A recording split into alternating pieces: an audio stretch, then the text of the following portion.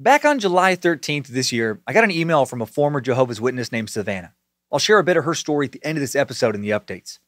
She told me about how the Jehovah's Witnesses encourage the terrible practices of disfellowship and shunning, how they destroy families, how they turn a blind eye towards rape and child abuse, how there is this crazy two witness rule that allows for so, so much abuse to go unpunished. I was shocked by what Savannah was writing. I knew almost nothing about Jehovah's Witnesses, other than that they were mostly known for bothering people by showing up at their door to spread the good word. Other than that, I had not heard anything negative about them. So I started Googling, looking around. Could not believe how many documentaries and exposes about them there are out there, how many former witness support group websites there are, how many websites there are devoted to tracking their alleged lies and nefarious deeds. So I told Savannah that I hoped I would get to this topic soon. Then I put the witness on a topic list that we keep here for, you know, possible future episodes. And then before I plan to get to the witnesses, our Patreon Space Lizard listeners voted this topic in. And after having finished the research, I'm so glad they did. I hope I have exposed them properly, Savannah. I feel like I did my best. And now I hope this becomes our most downloaded episode ever. I want so many others to hear who they really are. What I found blew me away. Oh my heck! Today we explore the Jehovah's Witnesses. They were born out of the late 19th century Bible students movement, which was born out of the early 19th century Adventism movement, and they really can't wait for Armageddon. The main thrust of their belief system is that the end of the world is imminent and that only Jehovah's Witnesses will be saved. And to be a Jehovah's Witness, you have to dedicate dozens of hours a month to evangelizing. That's where all the knocking on doors comes from. You must proclaim the truth. You must let others know the end of the world is near and the time to repent is now. To be a witness, you'll have to live by a strict and frankly insane moral code. You'll have to follow all the teachings of the Witness Headquarters official publication, The Watchtower follow a variety of nonsensical practices like refusing to take a blood transfusion, even if it's necessary for you to live, or join the military, or hold any government office, or salute the flag, or vote, or wear pants that are too tight. Not even kidding about that last one. If the leaders of the witnesses had their way, they would literally be a separate theocratic society, very much like Gilead from The Handmaid's Tale, with their own rules and legal procedures, governed by nothing more than misguided notions of God's word. Today, we look into the history of this group of over 8 million current believers. We look into their beliefs, into their many, many failed end times predictions. We look into a massive Jehovah's Witness scandal. They may be hiding the biggest list of known but unprosecuted sexual predators ever compiled. All this and more on an apocalyptic Watch Out for Invisible Jesus. How can a supposedly godly group justify so many blatantly evil acts? Open their eyes, Nimrod, and let them see the fucking truth edition of Time Suck. This is Michael McDonald, and you're listening to Time Suck. You're listening to Time Suck.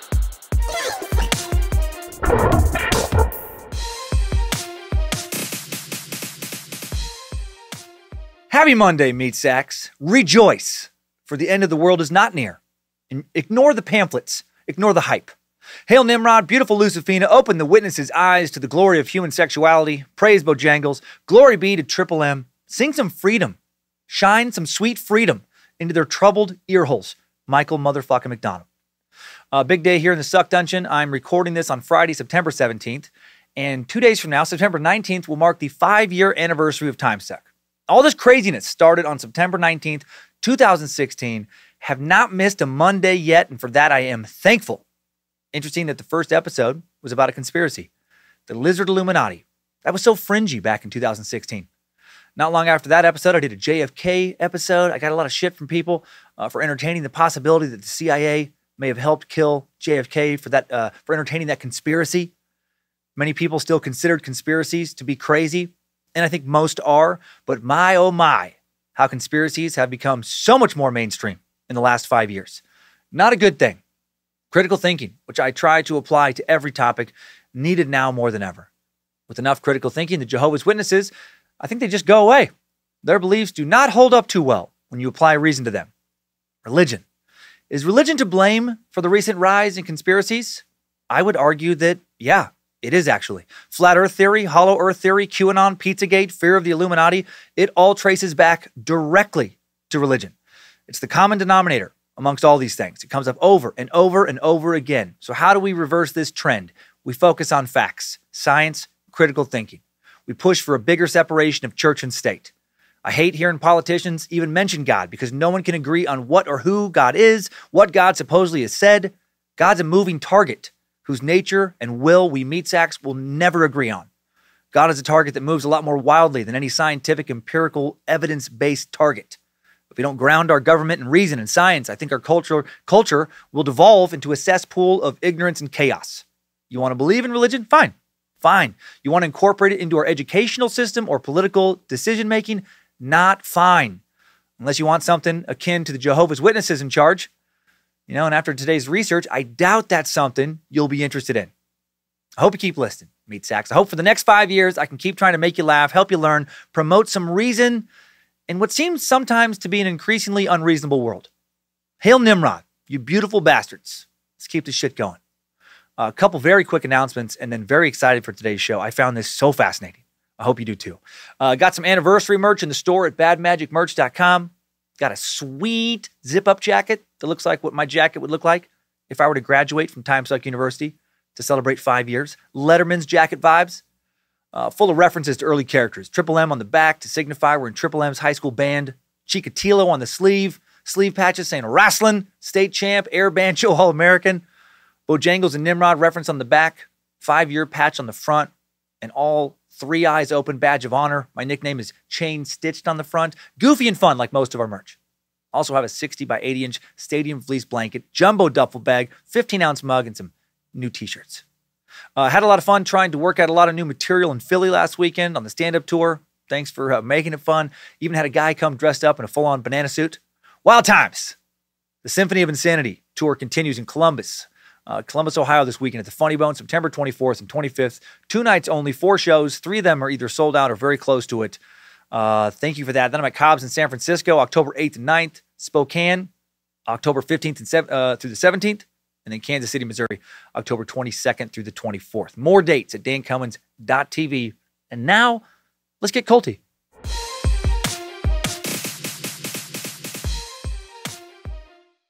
In terms of structure, today's episode is going to probably feel pretty similar to our previous coverage of the LDS Church and uh, Suck 157, Mormonism, the good, the bad, and the FLDS.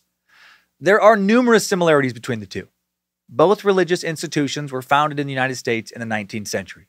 The Church of Jesus Christ of Latter day Saints traces its founding back to 1830 when founder Joseph Smith and others first convened to form a new religion in upstate New York. The Jehovah's Witnesses can trace their founding back to 1872 when founder Charles Taze Russell broke away from Adventism in Pittsburgh, Pennsylvania.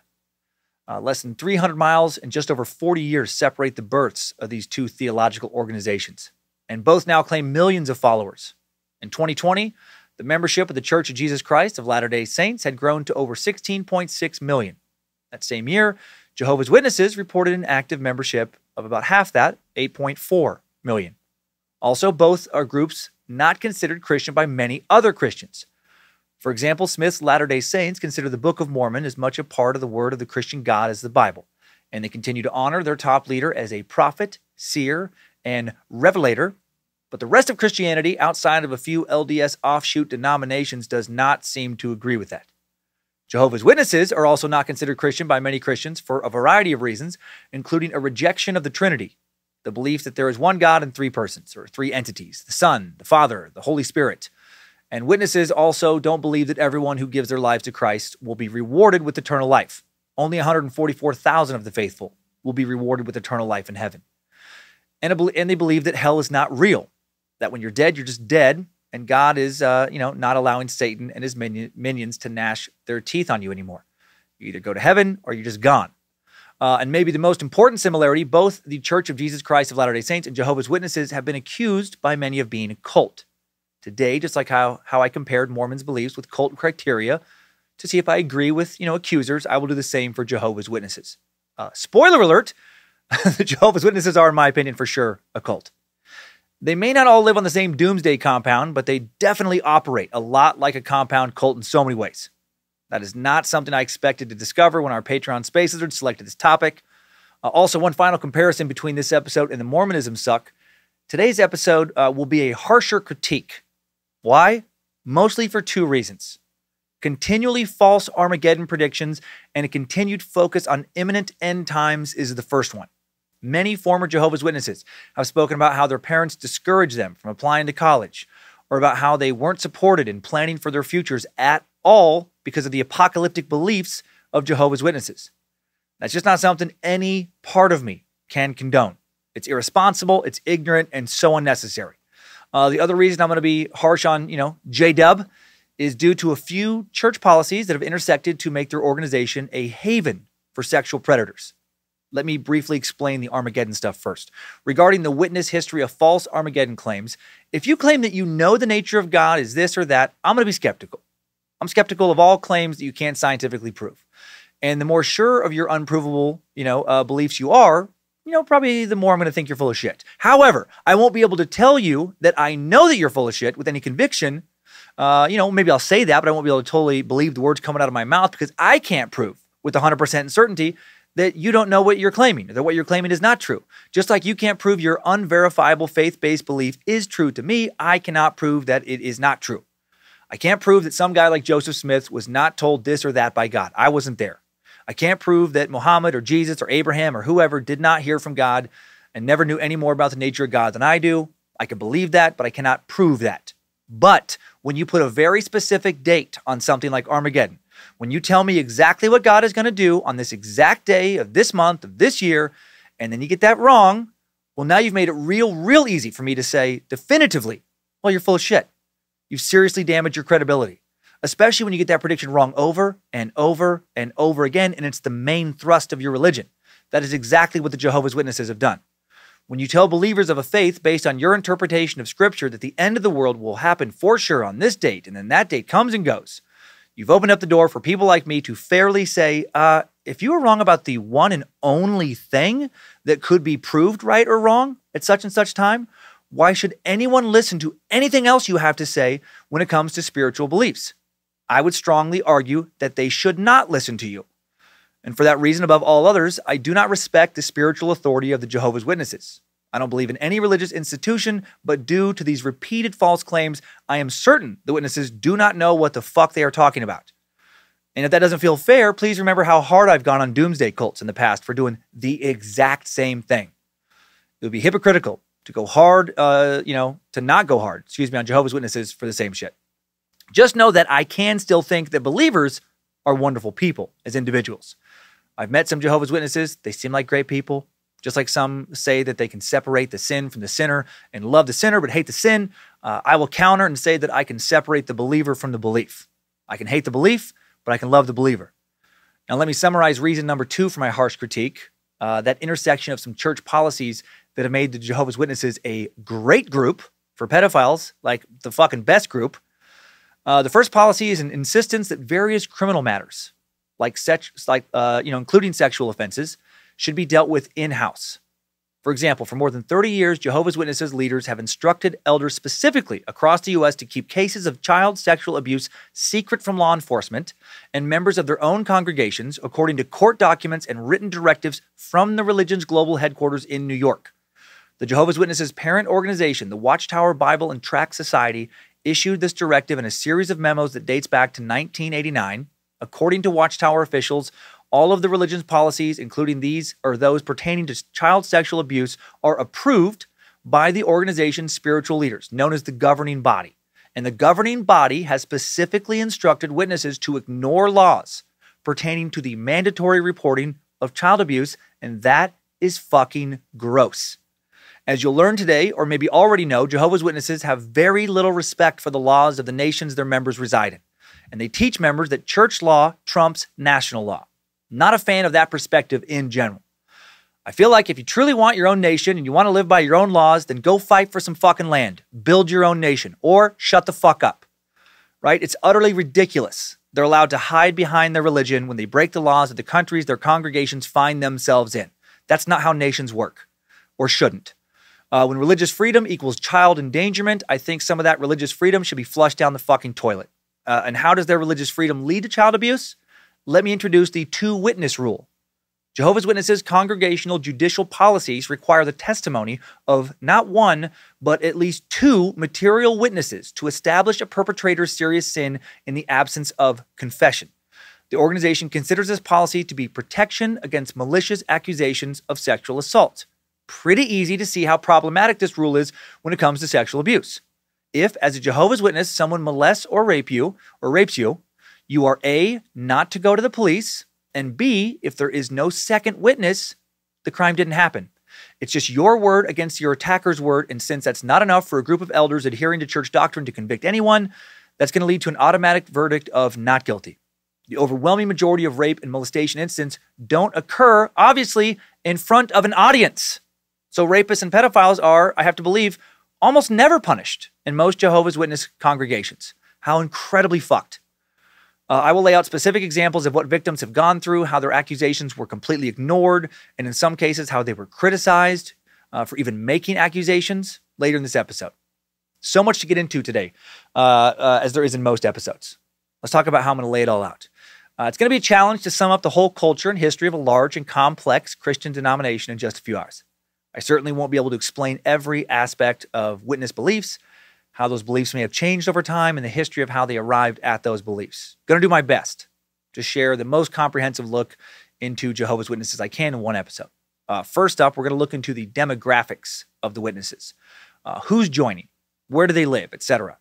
Then we'll head to the 19th century, look into their history following the organization's development up to the present day in a time suck timeline.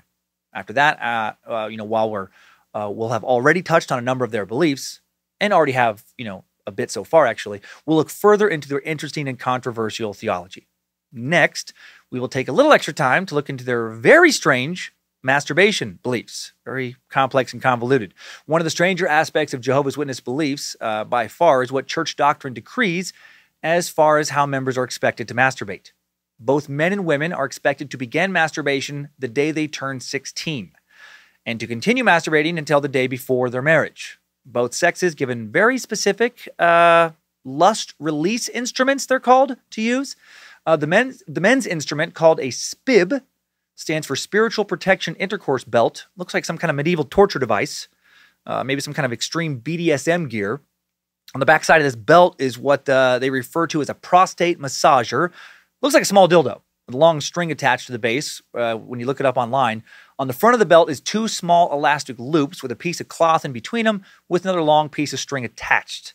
It's very complicated uh, looking. To use it, you put it on, the massager goes in your butt, uh, loops in the front wrap around both, uh, you know, under the under the head of the penis and around the base of the balls, like these little loops on both spots. Then you kind of like seesaw, I guess, these strings back and forth, the one in the back, the one in the front. And that way you never have to stroke your penis until orgasm and thus sin. Okay? Unmarried women wear a save, sexual abstinence virginity enhancer. Looks like a metal chastity belt with a metal rod coming up off the front attached to what looks like a fucking captain's wheel on a ship. You spin this wheel, a little wooden flicker, you know, stimulates the clitoris by lightly slapping it over and over rhythmically, while a small dildo-shaped prosthetic device thrusts in and out of the vagina with upwards pressure placed on the so-called G-spot. Like with a spib, with a save, you can achieve orgasm without ever touching your flesh with your fingers, and that way, I guess, I guess you don't sin. So fucking complicated. Uh, with both devices, you're expected to leave your clothes on, wear them under your clothes, you know, so you're not, you know, un- unmarried and naked, and which is also considered sinful. And the use of these devices is encouraged because they're believed to help expel unclean, lustful devil thoughts from your mind once you've orgasmed. That is all fucking insane. Picture these ridiculous contraptions, spibs and saves in your mind's eye for a moment, and then let go of those images forever because they're not real. I made that shit up.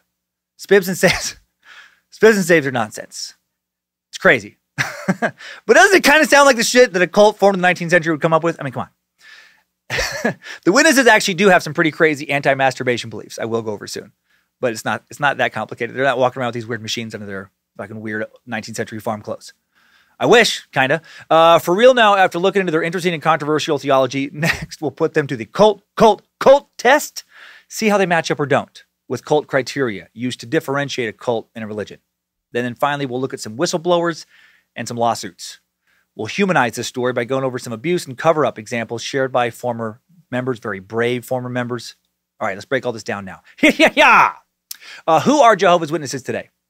Uh, Jehovah's Witnesses make up just under 1% of the adult population of the U.S. and make up less than 1% of the population of the world. They count members in every nation in the world. Uh, let's first talk about the U.S. with information from the Pew Research Center's 2016 Religious Landscape Study As of two, 2016, and numbers don't seem to have fluctuated a ton since that, uh, based on articles that have pointed to membership growth.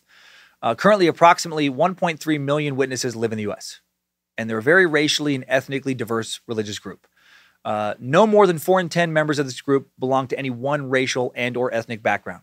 36% are white, 32% are Hispanic, 27% are black, and 6% are another race or a mixed race. Uh, the majority of Jehovah's Witnesses in the U.S. are 30 to 49 years old, 34%, followed by 50 to 64 years old, who make up 29% of membership.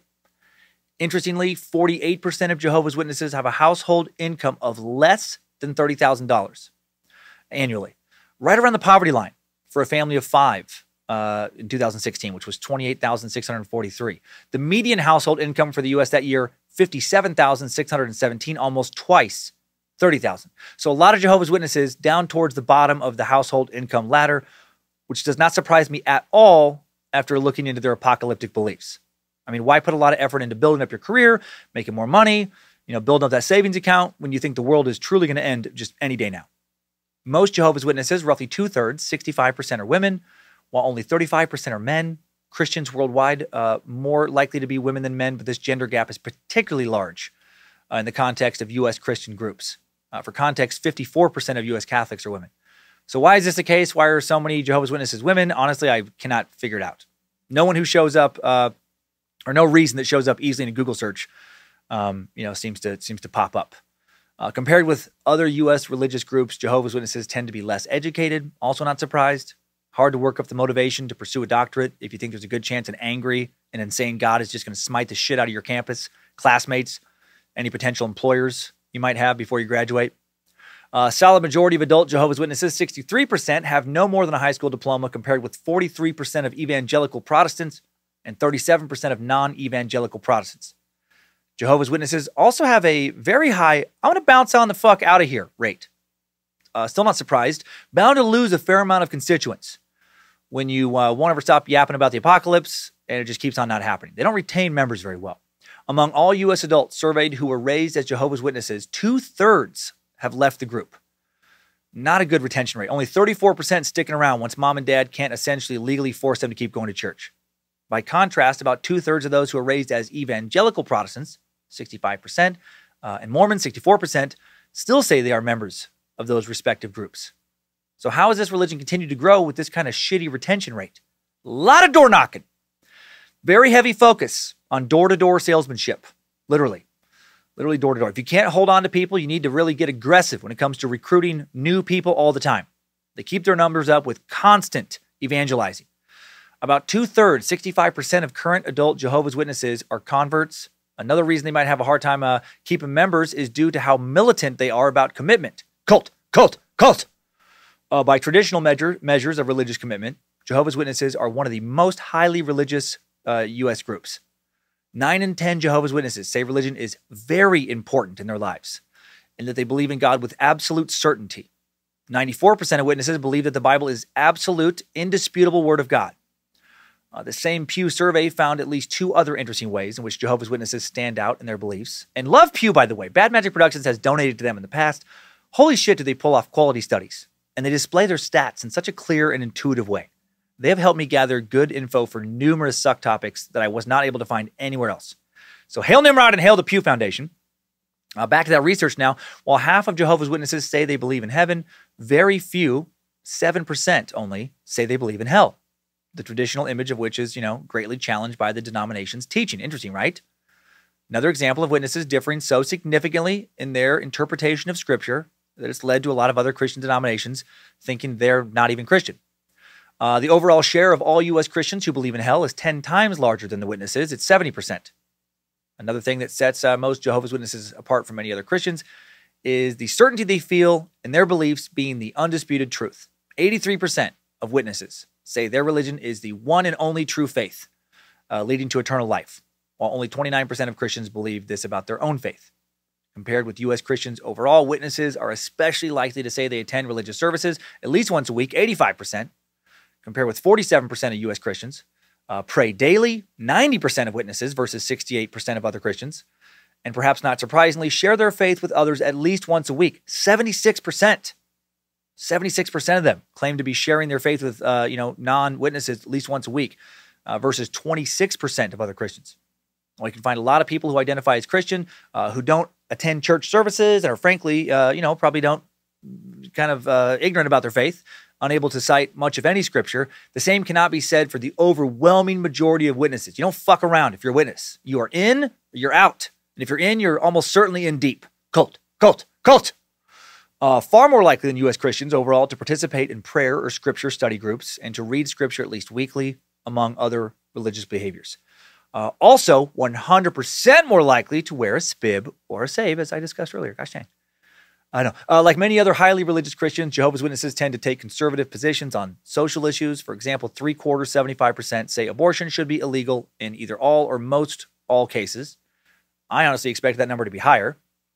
Uh, 76% oppose same sex marriage, say homosexuality should be discouraged by society. Again, I'm surprised that number is not higher. Jehovah's Witnesses, uh, their views on human sexuality and its possible sinfulness are uh, pretty ludicrous, pretty hardcore.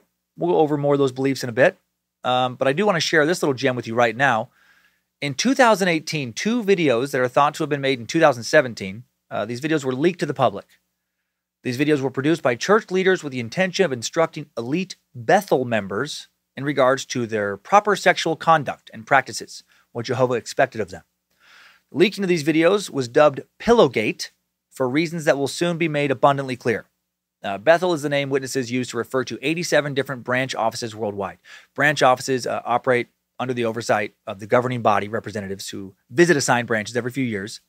Branch offices are operated by witness volunteers known as Bethel families, who produce and distribute witness literature and communicate with various congregations in their jurisdictions. They're basically the cream of the witness crop, the elites, and thus they are expected to set a good and godly example for their fellow believers. Witness leader Gary Breaux, overseer for the governing body service committee, narrates the video intended for the Bethel men. And then governing body helper Ralph Ralph Walls, that's what he's called, a helper, seems like a weird title, narrates the video intended for Bethel women. Gary and Ralph state early on that these videos are intended to show Bethel men and women the proper example they must set for the rest of the witnesses. In this first clip, uh, Brother Ralph, he's telling women to keep their lady skin covered up and hidden to prevent a wave of horniness from crashing into the body of male witnesses and riptiding them back out into a sea of sin. Or, you know, something along those, along those lines. There we go. Men are generally more easily aroused. The August 1st, 1969 Watchtower said Christian women have the obligation not to dress provocatively, Mm-hmm. not to tempt men to keep looking at them, and so reap a prideful pleasure in noting how they're able to play upon the emotions of men. Mm-hmm.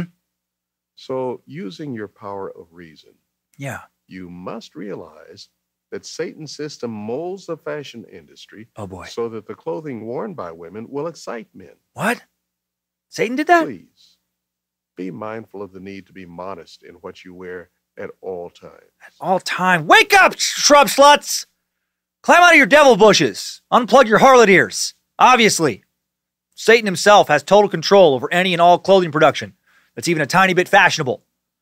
Loose fitting old lady blouses with shoulder pads, long sleeves, enough buttons to never allow for some demon wind to blow apart an inch or so of fabric and reveal the pad of an old J.C. Penney menopause, menopause bra? Well, God made that blouse. Avi.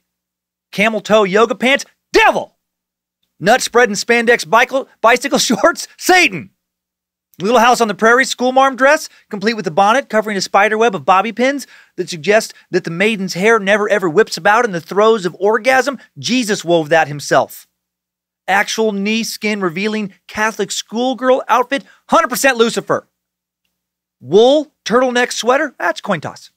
Depends on how tight it is and how big the boobs are.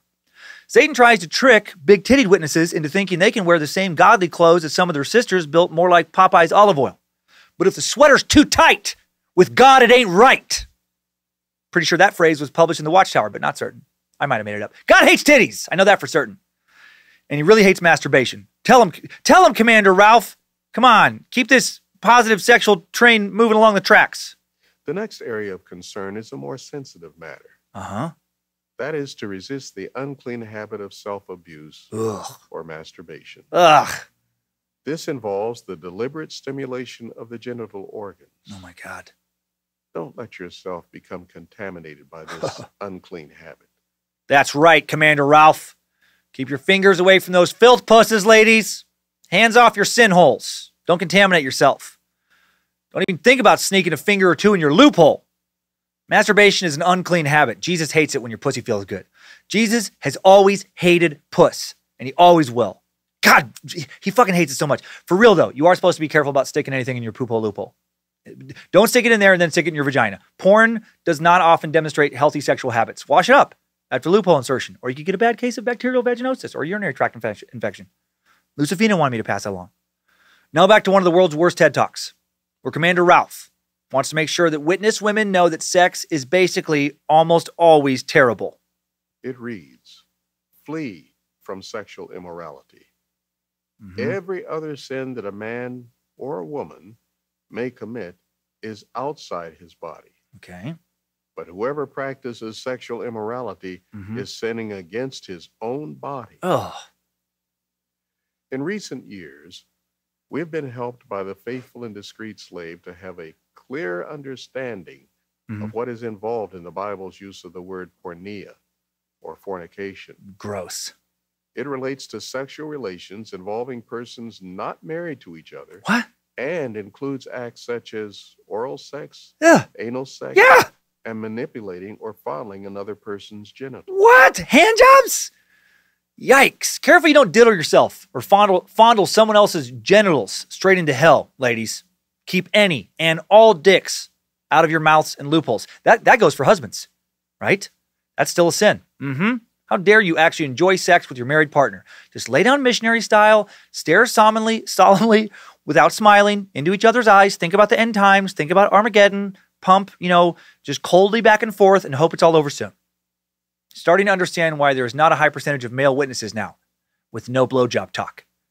Uh, now let's move on over to witness leader uh, Commander Gary, overseer for the governing body's service committee. Homosexuality is not accepted on any level within the Jehovah's Witnesses. And here, Commander Bear warns straight, hetero, God fearing witnesses that the devil is constantly trying to gay you up.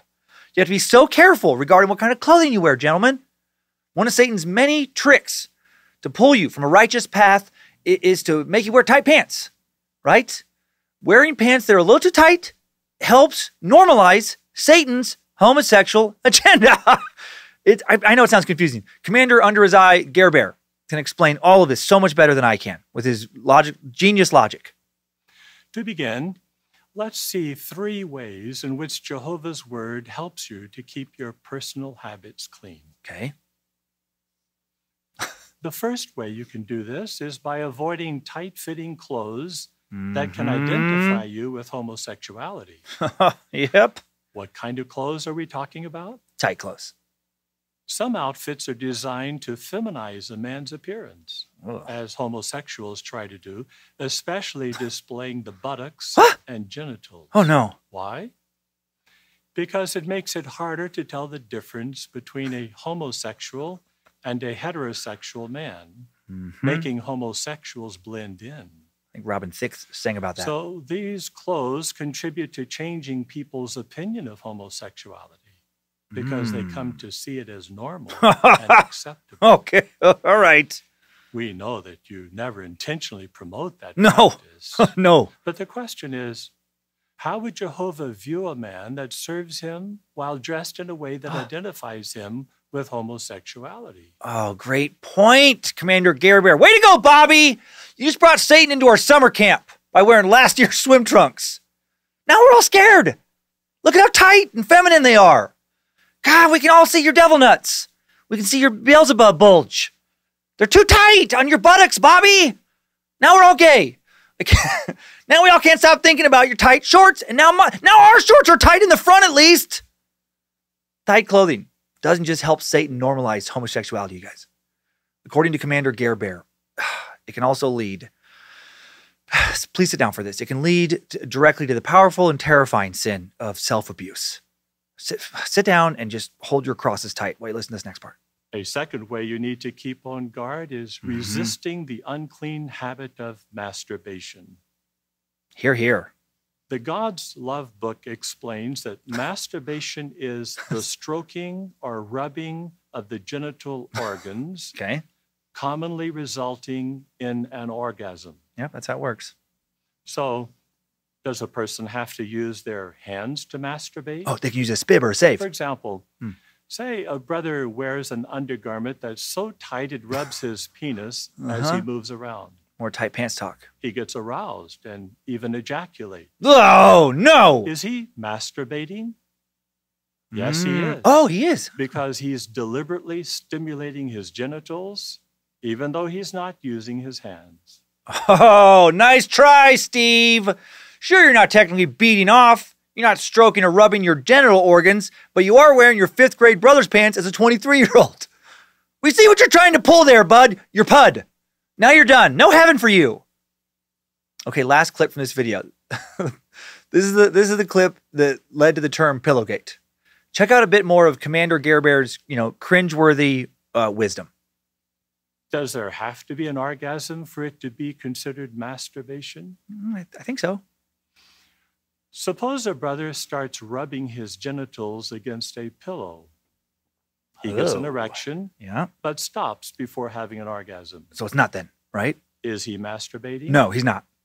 Yes. Oh! Again, Fuck. because he's deliberately stimulating himself, Okay. whether he has an orgasm or not. Okay. How about having an emission of semen at night, Mm, maybe even after an erotic dream? mm, Is no. that masturbation? No, I don't think so. No.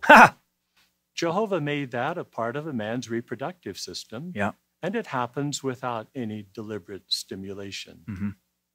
But even so, What? when this happens to you, Yeah. it would be good to examine whether you were dwelling on sexual thoughts before going to sleep. Ooh, great thought, Commander Gray Could you have been sleeping in a position that stimulated you, Probably. such as with a blanket or pillow held tightly between your legs? Oh. If you're honest with yourself about these matters, it will help you to avoid falling into unclean practices. Unclean practices that lead you to the devil. Oh, Steve, you know what you did, you dirty fucking pillow humper.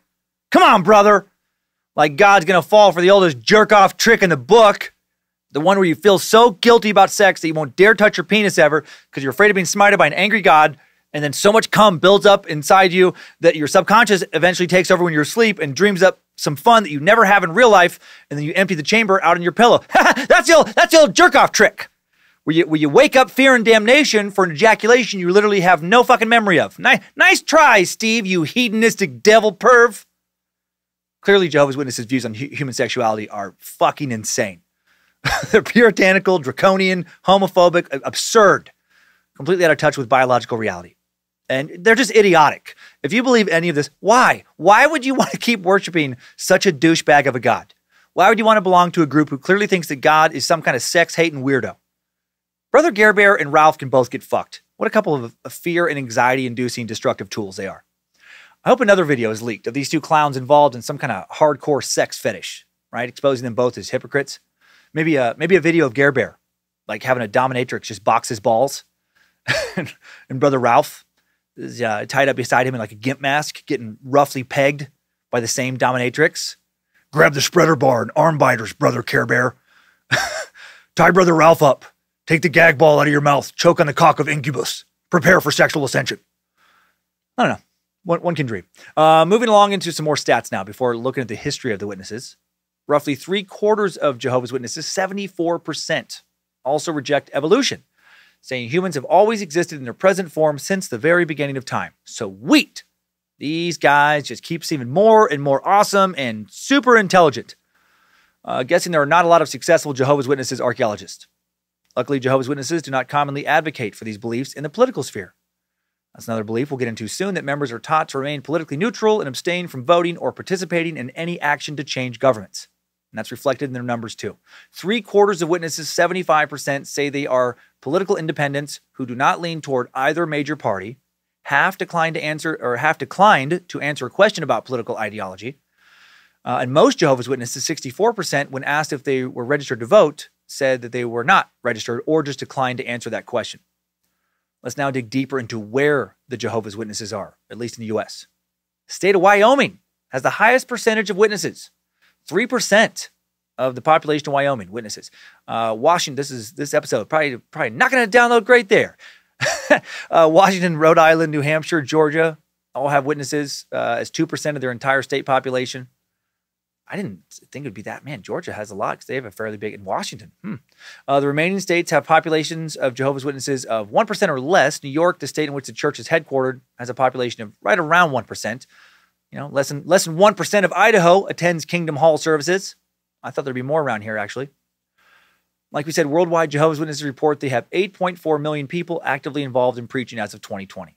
Hard to get exact figures uh, for the witnesses, truly, because to be counted as an active member, an individual must uh, be something called a publisher, which means they report regular time spent preaching to non members, normally at least an hour per month, quite often a lot more than that.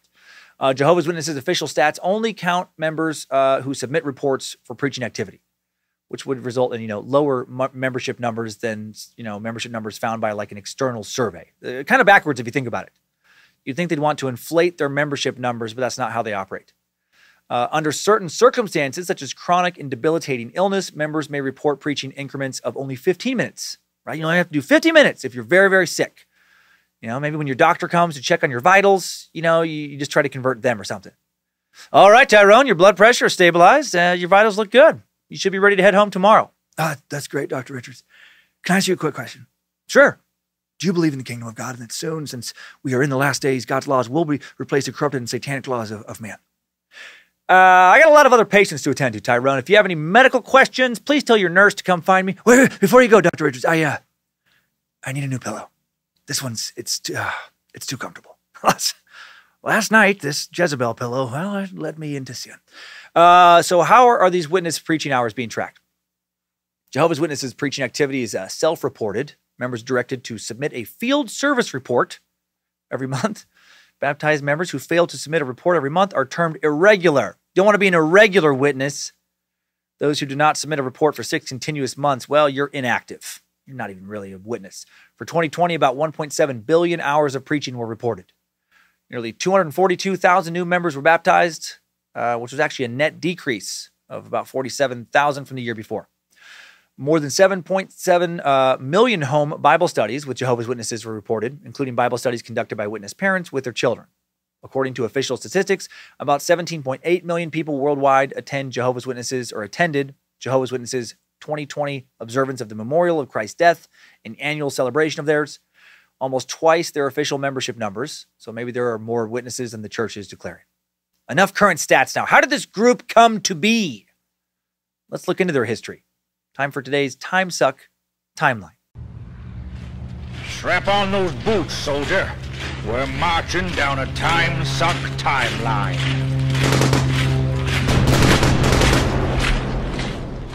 1869. Jehovah's Witnesses originated as a branch of the uh, Bible student movement, which developed in the U.S. in the 1870s amongst followers of Christian minister Pastor Russell, aka Charles Taze Russell. Old Taze dog. Old Taze and confused. In 1869, young 17 year old Russell, son of Scotch Irish immigrants, lived in Allegheny, Pennsylvania, a community later annexed by Pittsburgh in 1907. At that time, it was just across river, uh, where he was born and raised and where he worked in his father's haberdashery shop. Why don't, why don't we have a, a bunch of haberdashery shops anymore? He was selling fabric to townsfolk to be used in making dresses, suits, and other articles of clothing.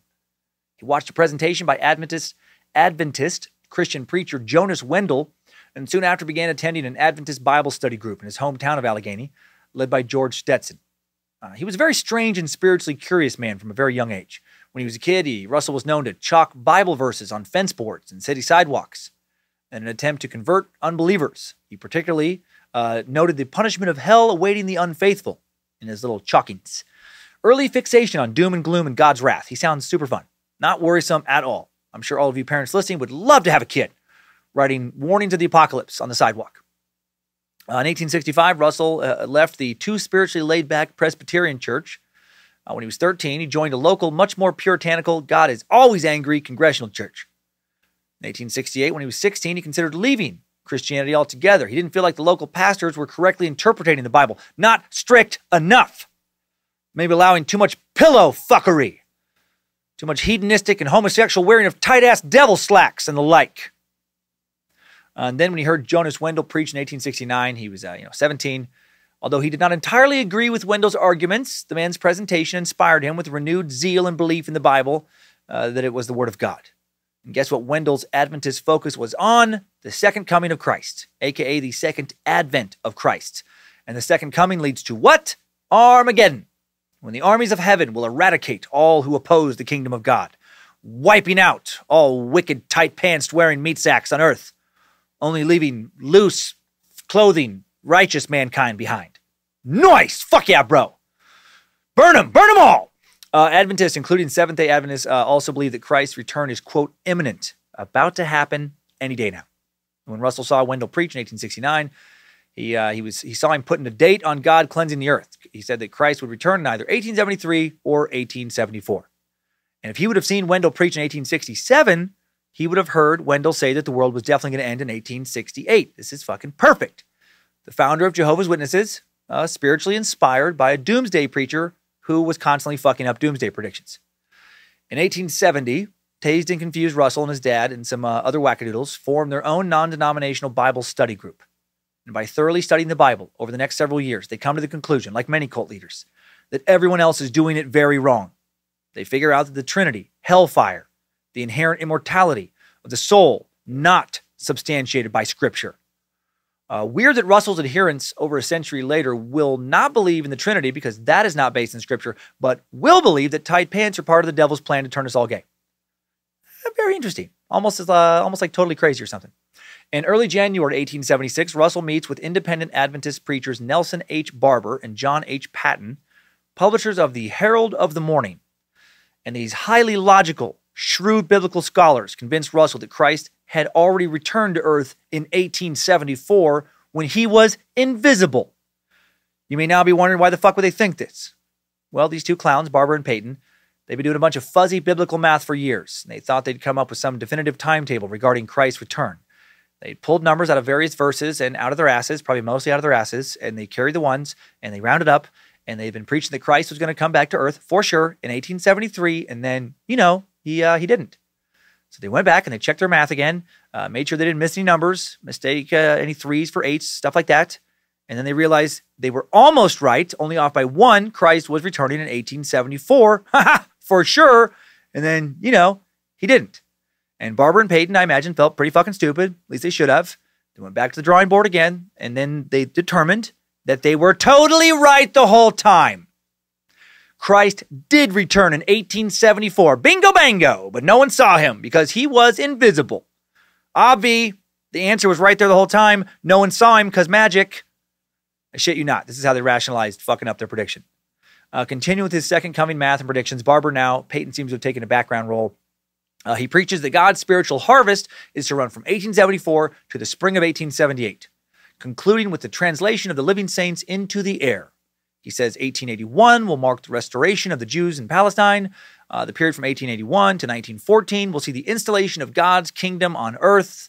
Uh, he says, for sure, Armageddon will wrap up uh, by 1914 at the latest, and then only the righteous will still walk the earth. So print it, done, gonna happen. And then they did print it. And then, you know, they look like idiots later. Uh, 1877 now. 25 year old Jehovah's Witness founder Charles Taze, to confuse Russell, thinks all of this makes perfect sense because he is also crazy. And he provides financial backing for Barbour and becomes co editor of Herald of the Morning. The pair jointly issue Three Worlds and the Harvest of This World. This big uh, publishing in 1877, written mostly by Barbour. Various concepts in this book still taught in the Bible student movement today and in Jehovah's Witnesses, including a 2,520 year period termed the Gentile Times that was originally predicted to end in 1914. Uh, these guys' vision of Armageddon departed from Adventist teachings by advancing Russell's concept of restitution that all humankind since Adam would be resurrected to the earth and given the opportunity for eternal, perfect human life.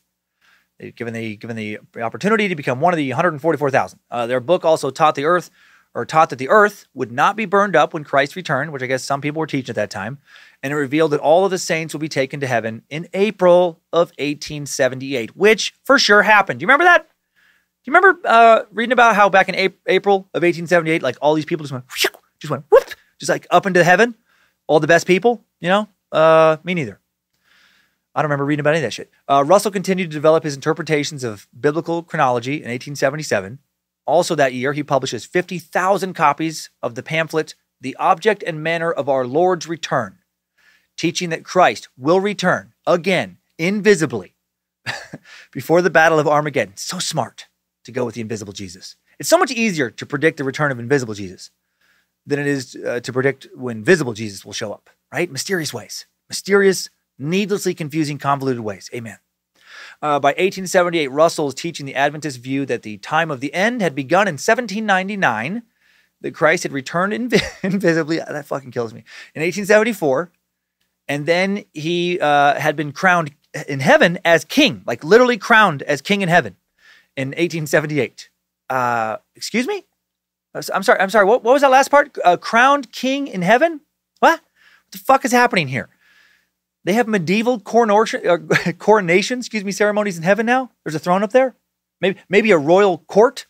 Do they have a jester up there? God, please tell me they have a jester. Some guy up on a cloud telling corny Bible jokes.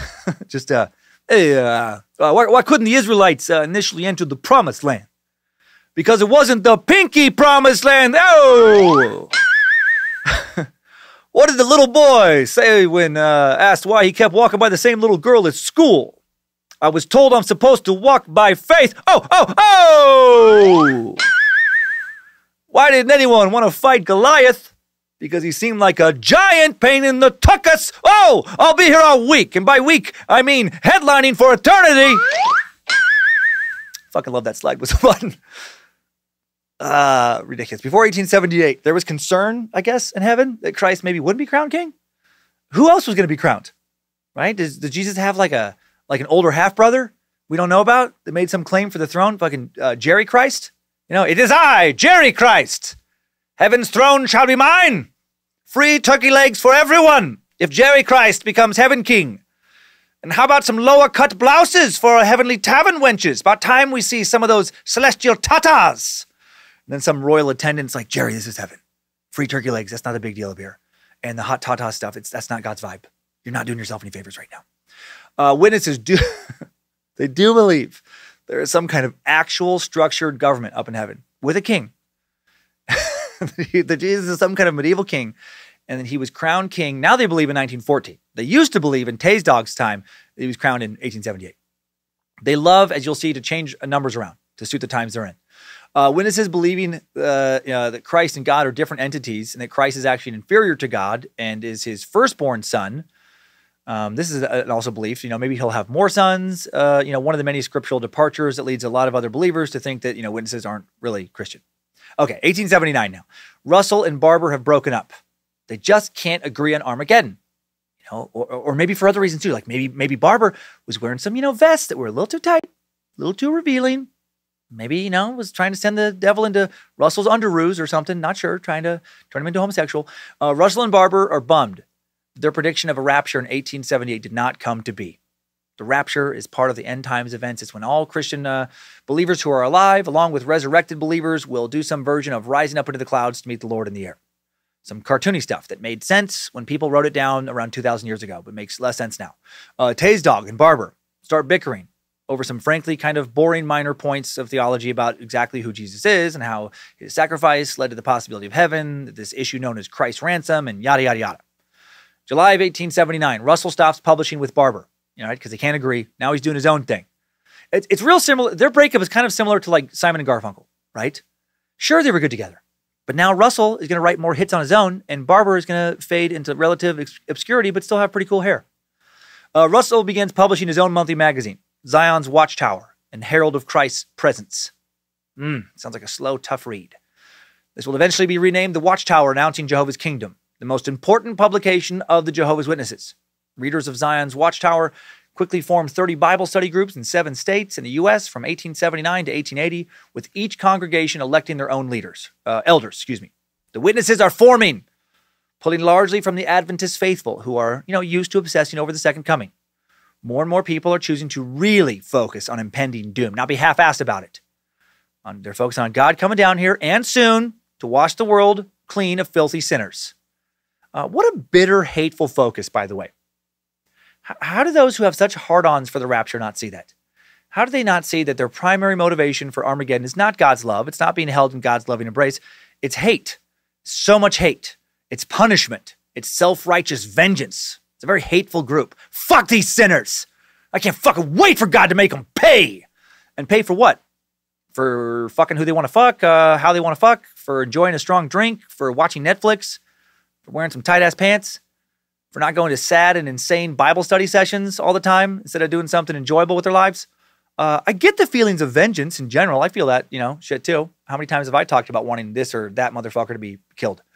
I'm very pro murder in the right circumstances. I just don't get hiding behind a supposedly loving God when it comes to those feelings, right? Own them.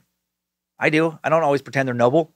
Uh, and with doomsday believers, if you believe that all sinners, you know, that you hate are going to burn in hell uh, when they're dead anyway, or at least just be dead, like the witnesses believe, and you get to go to heaven, you know, when you die, then then what's the what's the hurry? You're going to get everything you want, you know, once we're all dead. So just wait. Enjoy your time here. Sleep tight, thinking about how God's going to burn the wicked, or you know, punish them, or you know, whatever. At least not reward them when you're when you know we're all gone. Why does the world always have to end?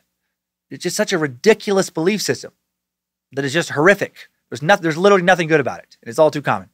In, in these new uh, Zion's Watchtower centric Bible study groups, elders and deacons are now being elected by their congregations. Uh, a true denominational structure starting to come together. Russell opposes formal, formal disciplinary procedures by congregation elders, claiming this is uh, beyond their authority. Instead, recommending that an individual who continues in a wrong course should be judged by the entire congregation, uh, and then they could ultimately just withdraw from him his fellowship or her fellowship if the uh, undesirable behavior continues. A later, different form of this policy will come into play with all the child abuse allegations. In 1880, Russell visits his new congregations to conduct six hour study sessions, teaching each local, con- local congregation how to carry out a topical biblical study correctly. In 1881, the Zion's Watchtower Tract Society is formed as an unincorporated administrative agency in Pittsburgh, Pennsylvania for the purpose of disseminating tracts, papers, doctrinal treatises, and Bibles. So now, as of 1881, they're officially formed as basically a religious nonprofit. And off they go and they grow and grow. Russell, of course, leads them annually, uh, reelected as president, referred to as Pastor Russell. They have a president, a board of directors, uh, essentially known as the governing body. Almost always dudes, I think, except for one. I think, except for Russell's wife, they've always been dudes.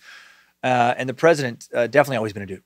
Charles will be president from 1884 all the way to 1916. His organization will actually never be called Jehovah's Witnesses during his lifetime. They'll be called Bible Students.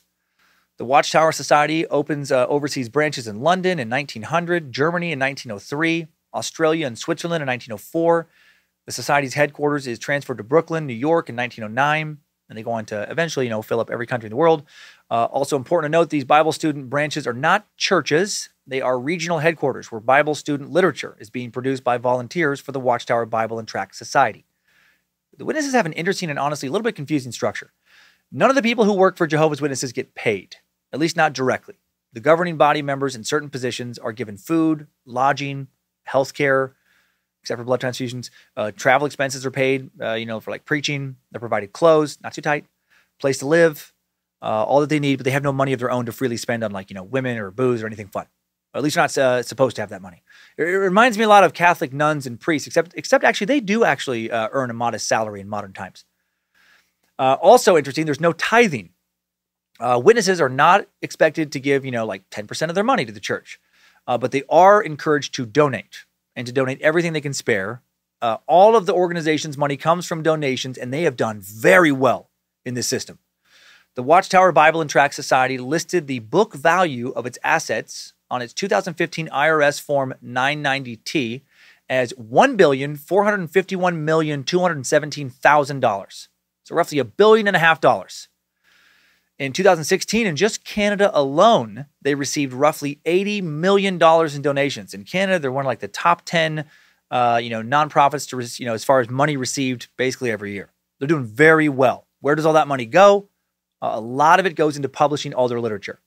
And some think some of it disappears into the pockets of leadership, but uh, I have no proof of that. Also, to back up now, back in Russell's day, Russell the Love Muscle, there were none of the kingdom halls now associated with witnesses. Bible students, they just met in people's homes for the most part at regularly appointed times, you know, a few days a week, but there weren't sermons per se. There were Bible discussions and studies led by local elders. Uh, they focused not on building churches, but you know, on you know, kicking out so much literature. So many repent now or lose your immortal soul pamphlets. In 1910, the secular journal Overland Monthly calculated that by 1909, Russell's writings had become the most widely distributed, privately produced English language works in the U.S. It said that the entire body of his works were the third most circulated on Earth after the Bible and the Chinese Almanac. In 1912, The Continent, a Presbyterian journal, stated that in North America, Russell's writings had achieved a greater circulation than the combined circulation of the writings of all the priests and preachers in North America. So, really getting that apocalyptic word out. A lot of that word was based on Russell's new prediction that the world is now going to end in 1914. Right? He's writing a lot about how the last days, we kind of covered this, you know, they, they began back in 1799. And then, you know, 1874, that's when Invisible Jesus started hanging around on Earth. No specifics written about what Invisible Jesus was up to. Hopefully, not hanging around in women's dressing rooms, right? Or bathhouses like a naughty Jesus. Don't be naughty Jesus, or Jerry Christ will take your heaven crown. come on, come on. Anyway, Taze Dog said that 1878 was when Invisible Jesus was crowned king in heaven, you know, when he beat out Jerry. And 1940, 1914 was when the world as we know it would for sure end. That's when sinners are going to be smited, the rapture is going to occur, and, you know, blah, blah, hateful, blah. Then 1914 comes and goes, and nothing happens. Ah, you, you tricked us, Invisible Jesus. And the date is now moved, you know, to 1915. and then 1915, you know, comes and goes, nothing happens. So they move it to 1918. Mm-hmm. And in more recent years, you know, they started swapping shit around again and started preaching 1914 was not the end of the end times, it was the beginning of the end times. Come on, that's what we meant. Like in 1992, the Watchtower printed that the day of judgment and destruction of the ungodly men is drawn near. Uh, it pains me that the idiots running this organization can keep making millions and millions of dollars in donations when their main focus is the end of days and they just prove over and over that they have no clue what they're talking about. Oh, uh, also, did I mention before we move on from Charles Russell that he talked a lot about pyramids? Mm-hmm. Actually, he talked a lot about one pyramid, the Great Pyramid of Giza. Russell believed that the Great Pyramid of Giza was built by the Hebrews under God's direction. And why was it built by God? To help people living in Charles's day help figure out when Jesus was coming back to cleanse the earth of sinners. God had the Great Pyramid of Giza built so tased and confused would know what to write in his doomsday pamphlets. Seriously, that's what he believed. This guy's fucking insane. Charlie Cuckoo Puffs referred to the Pyramid of Giza as the Bible in stone. He believed that certain biblical texts, including Isaiah 1919 through 20, 1920, and others prophesied a future understanding of the Great Pyramid, and this understanding would unfold the mysteries of the rapture in his time. This lunatic was obsessed with the end times. He was the early 20th and late 19th century version of a maniac wearing a sandwich board full of revelations verses, holding a megaphone and screaming about God's wrath is almost upon us in like Times Square or someplace. Uh, one more thing about Russell the Love Muscles beliefs. Let's talk about the 144,000. Why is that number so associated with Jehovah's Witnesses? Uh, Book of Revelations, chapter 7, verse 4, from the King James Version of the Bible. And I heard the number of them which were sealed. And there were sealed 140 and 40, wait, sealed in 140 and 4,000 of all the tribes of the children of Israel. Russell taught, and witnesses still teach, that God selects a limited number of faithful Christians who will, after their deaths, be resurrected to life in heaven. These 144,000 will help Jesus rule uh, a new earth after God wipes the earth, you know, clean in the end times. Fuck yeah. Uh, on their own website right now, under Bible teachings, there's a big header that reads Misconceptions about those who go to heaven. Misconception all good people go to heaven. And then under, underneath that, fact God promises everlasting life on earth for most good people. Holy shit live a, live a scared, terrible life, worry about God's wrath when you have a wet dream and wear tight pants, and then maybe go to heaven, but probably not. That's what the Jehovah's Witnesses essentially believe. I mean, on the bright side, they don't believe in hell. They just think you're dead and gone and cease to exist in any way if you're not part of the 144,000 when you die. So that's cool, I guess. But let's talk more about their, you know, vision of heaven. Think about the total number of witnesses now, around 8.5 million, but only 144,000 witnesses go to heaven. And that's and that's 144,000 since the time of Jesus' death in 33 CE until now is what they is, is what they now preach. It was for a while, you know, with tied to Adam, but now it's tied to Jesus' death. Holy shit. If you only counted today's witnesses and you were a witness, you would have a 1.7 chance of going to heaven. But factor in all the people who've come before you, and you basically have the same chance of going to heaven if you're very devout and a witness that you do of hitting a multi-million dollar lottery jackpot like this month. How the fuck have they been able to grow this horseshit into a religion of millions? It's it's terrible salesmanship. Fear, probably fear of God's wrath. You know that He'll kill you in the rapture. But he, but He's not going to let you be tormented in death. So there's not even that much to be afraid of. I have no idea how they've been able to trick so many people into falling for this shit. I guess I guess numbers print enough pamphlets, and you're bound to catch a few desperate people at the right desperate time and distract them with friends and fellowship, so they don't think too hard about all the crazy theology you're trying to cram into their heads. I got to say, in the vein of comparing them to the Church of Jesus Christ and Latter Day Saints, Mormonism has a way better sales pitch. At least in Mormonism, if you're faithful enough, you get to be a god in the afterlife. That's a that's a great sales pitch. Uh, let's zip up to 1916 now, when founder Charles, too bad nobody tased him, Russell dies. He dies in Texas at the age of 64 during a cross country preaching trip. He died doing what he loved. He died what he did best, talking crazy about Armageddon. Uh, he would not leave behind any children. Why have kids, you know, when the world's going to end? Uh, he'd gotten married in 1879, but the couple separated over theological differences, of course, and were granted a divorce in 1906. Now everyone wanted to know who was going to be the next president. Cue Game of Thrones music. On January 6th, is it going to be Jerry Christ? Uh, January 6, 1917, board member, Society Legal Counsel Joseph Franklin Rutherford is elected president of the Watchtower Society, unopposed. It's a landslide at a convention in Pittsburgh. At the convention, laws are also passed stating that the president will be the executive officer and general manager of the society, giving Joe Frank full control of its affairs worldwide. Uh, Russell basically already had that, but now it's been formalized. Joe Frank Rutherford gets right down to his own doomsday declarations. He quickly declares that God will destroy churches wholesale, his words, and church members by the millions in now 1918. Fuck yeah! And that all earthly governments will be totally destroyed by 1920. Nice! Resulting in anarchy. This announcement actually prompts many Bible students, still not going by Jehovah's Witnesses yet, to give up their businesses, give up their jobs, sell their homes, some Bible student farmers in Canada and the US uh, refused to seed their spring crops in 1925. They mock members of the movement who do. Uh, but some of those members mocked them right back when those idiots didn't have any crops, you know, and the world was still spinning, same as it ever was. In 1923, a Watchtower article predicted our thought is that 1925 is definitely settled by the scriptures. Their words, definitely. As to Noah, the Christian now has much more upon which to base his faith than Noah had upon which to base his faith in a coming deluge. Uh, but of course, 1925 came and went, and then Watchtower publications made no admission of error over the predictions. Uh, you know, for 1925, the predictions that ruined so many people's lives. But Joe Frank, Joe Frank the Tank, would eventually apologize at some conventions. Yeah, I bet he did. hey everyone, uh, Joe Frank here. Little red in the face today. Sorry about the whole prediction snafu. I know a lot of you are, you know, uh, you sold uh, everything. Uh, many of you lost it all. And uh, churches are still standing, and God hasn't seemed to, you know, uh, smite anyone. Uh, listen, I'm going to be honest with you. We're starting to come to the realization that Revelation slash Pyramid End Times prediction math is pretty hard. So please, just hold tight, keep wearing loose pants and boxy dresses, not having fun sex, and never masturbating, and we'll go back to the drawing board to try and figure out when, uh, you know, far less than 1% of you will be called to heaven in the rapture, and the rest of you will just be, you know, uh, just will die. Uh, Joe Frank uh, would go to a lot of conventions. Major annual conventions were organized from 1922, 1928 uh, which were publicity events as much as spiritual gatherings. 1924, he expanded his means of spreading the Watchtower message with the start of 15 minute 15 minute radio broadcasts, initially from WBBR based on Staten Island, eventually via a network of as many as 480 radio stations. So that's sweet.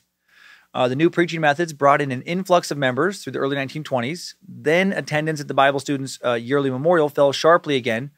It dropped from 90,434 in 1925 to 17,380 in 1928.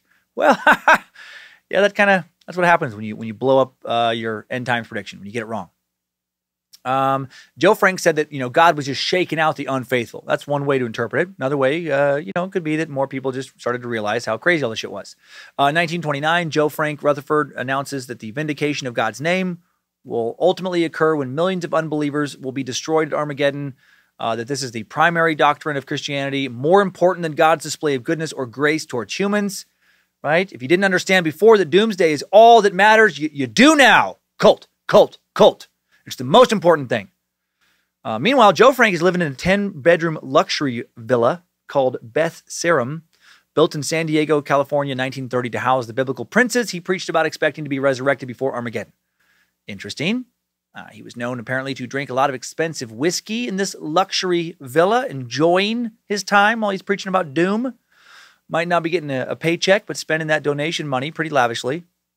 Rutherford also ousted many of the Watchtower Society directors, anyone who defied him. Cult, cult, cult. Former directors would claim Rutherford had required all headquarters workers to sign a petition supporting him and threatening dismissal for anyone who refused to sign. Uh, more than half of the Bible student movement members now leave over differences in Rutherford's teachings, teachings that had departed from old Tazedog's earlier doctrine. Now, there's trouble in the Doomsday cult. Those who stayed under Joe Frank's watch decided to take a new name, and the Watchtower Bible and Tract Society renamed themselves, dun dun dun, Jehovah's Witnesses, on July 26, 1931, at a convention in Columbus, Ohio.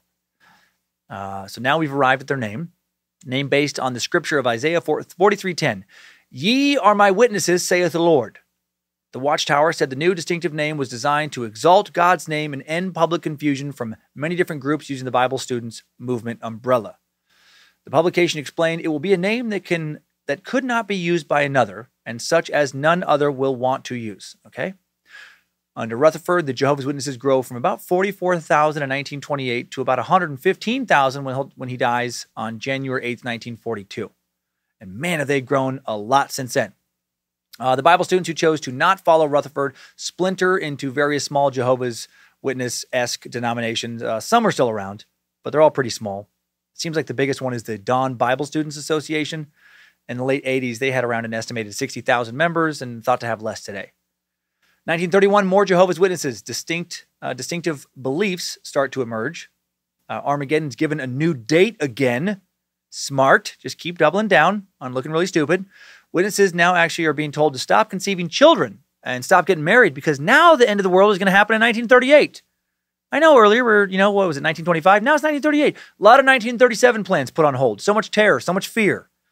As if the Great Depression didn't add enough sadness and chaos to people's lives. By 1935, witnesses are told they should refuse to salute the flag as well.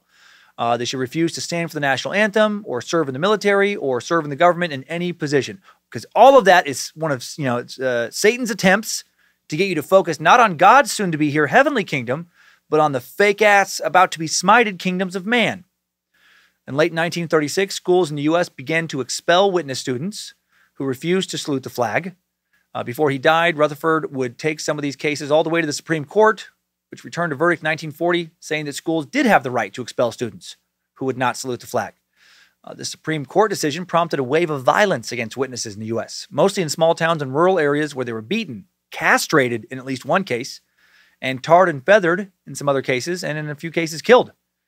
Uh, murder and castration seems a bit excessive for not, for not saluting the flag. Expelling from school, though, I, I do get that. I do understand the argument there, actually. Your nation, a nation many have died defending, is providing you a public school education, and you can't even acknowledge that you respect that nation for a few moments to start your day? Feels pretty ungrateful and shitty to me. I think a lot of people confuse saluting the flag as a sign of respect for all the good America has done with agreeing with literally everything that America has ever done. In my opinion, you don't have to love everything that your politicians and people have done in your country to still love your country. Uh, more than 2,500 cases of violence against witnesses reported from 1940 to 1944, and hundreds of witnesses arrested and charged with crimes. People losing sons, brothers, friends, and husbands to World War II, uh, not real fucking happy about the witness's stance when it comes to refusing to serve or even salute the flag. Part of me feels bad that they were beaten and arrested, but also when you actively preach a version of who cares about this nation, I can't wait for God to come and burn it all down, well, you're a fucking idiot to expect a lot of sympathy and protection from that same nation. I mean, that's ridiculous. Like, it's like reminds you of like some little kid. It's so childish. Like some little kid, like, I hate this place. I hate this place. All right, well, now you're kicked out. Hey, you can't do that to me. What? No, come on. That's not how it works. That's not how life works. Uh, in Germany, preaching activity is banned, and the Watchtower Society headquarters are seized and closed. Thousands of witnesses are arrested in the 1920s.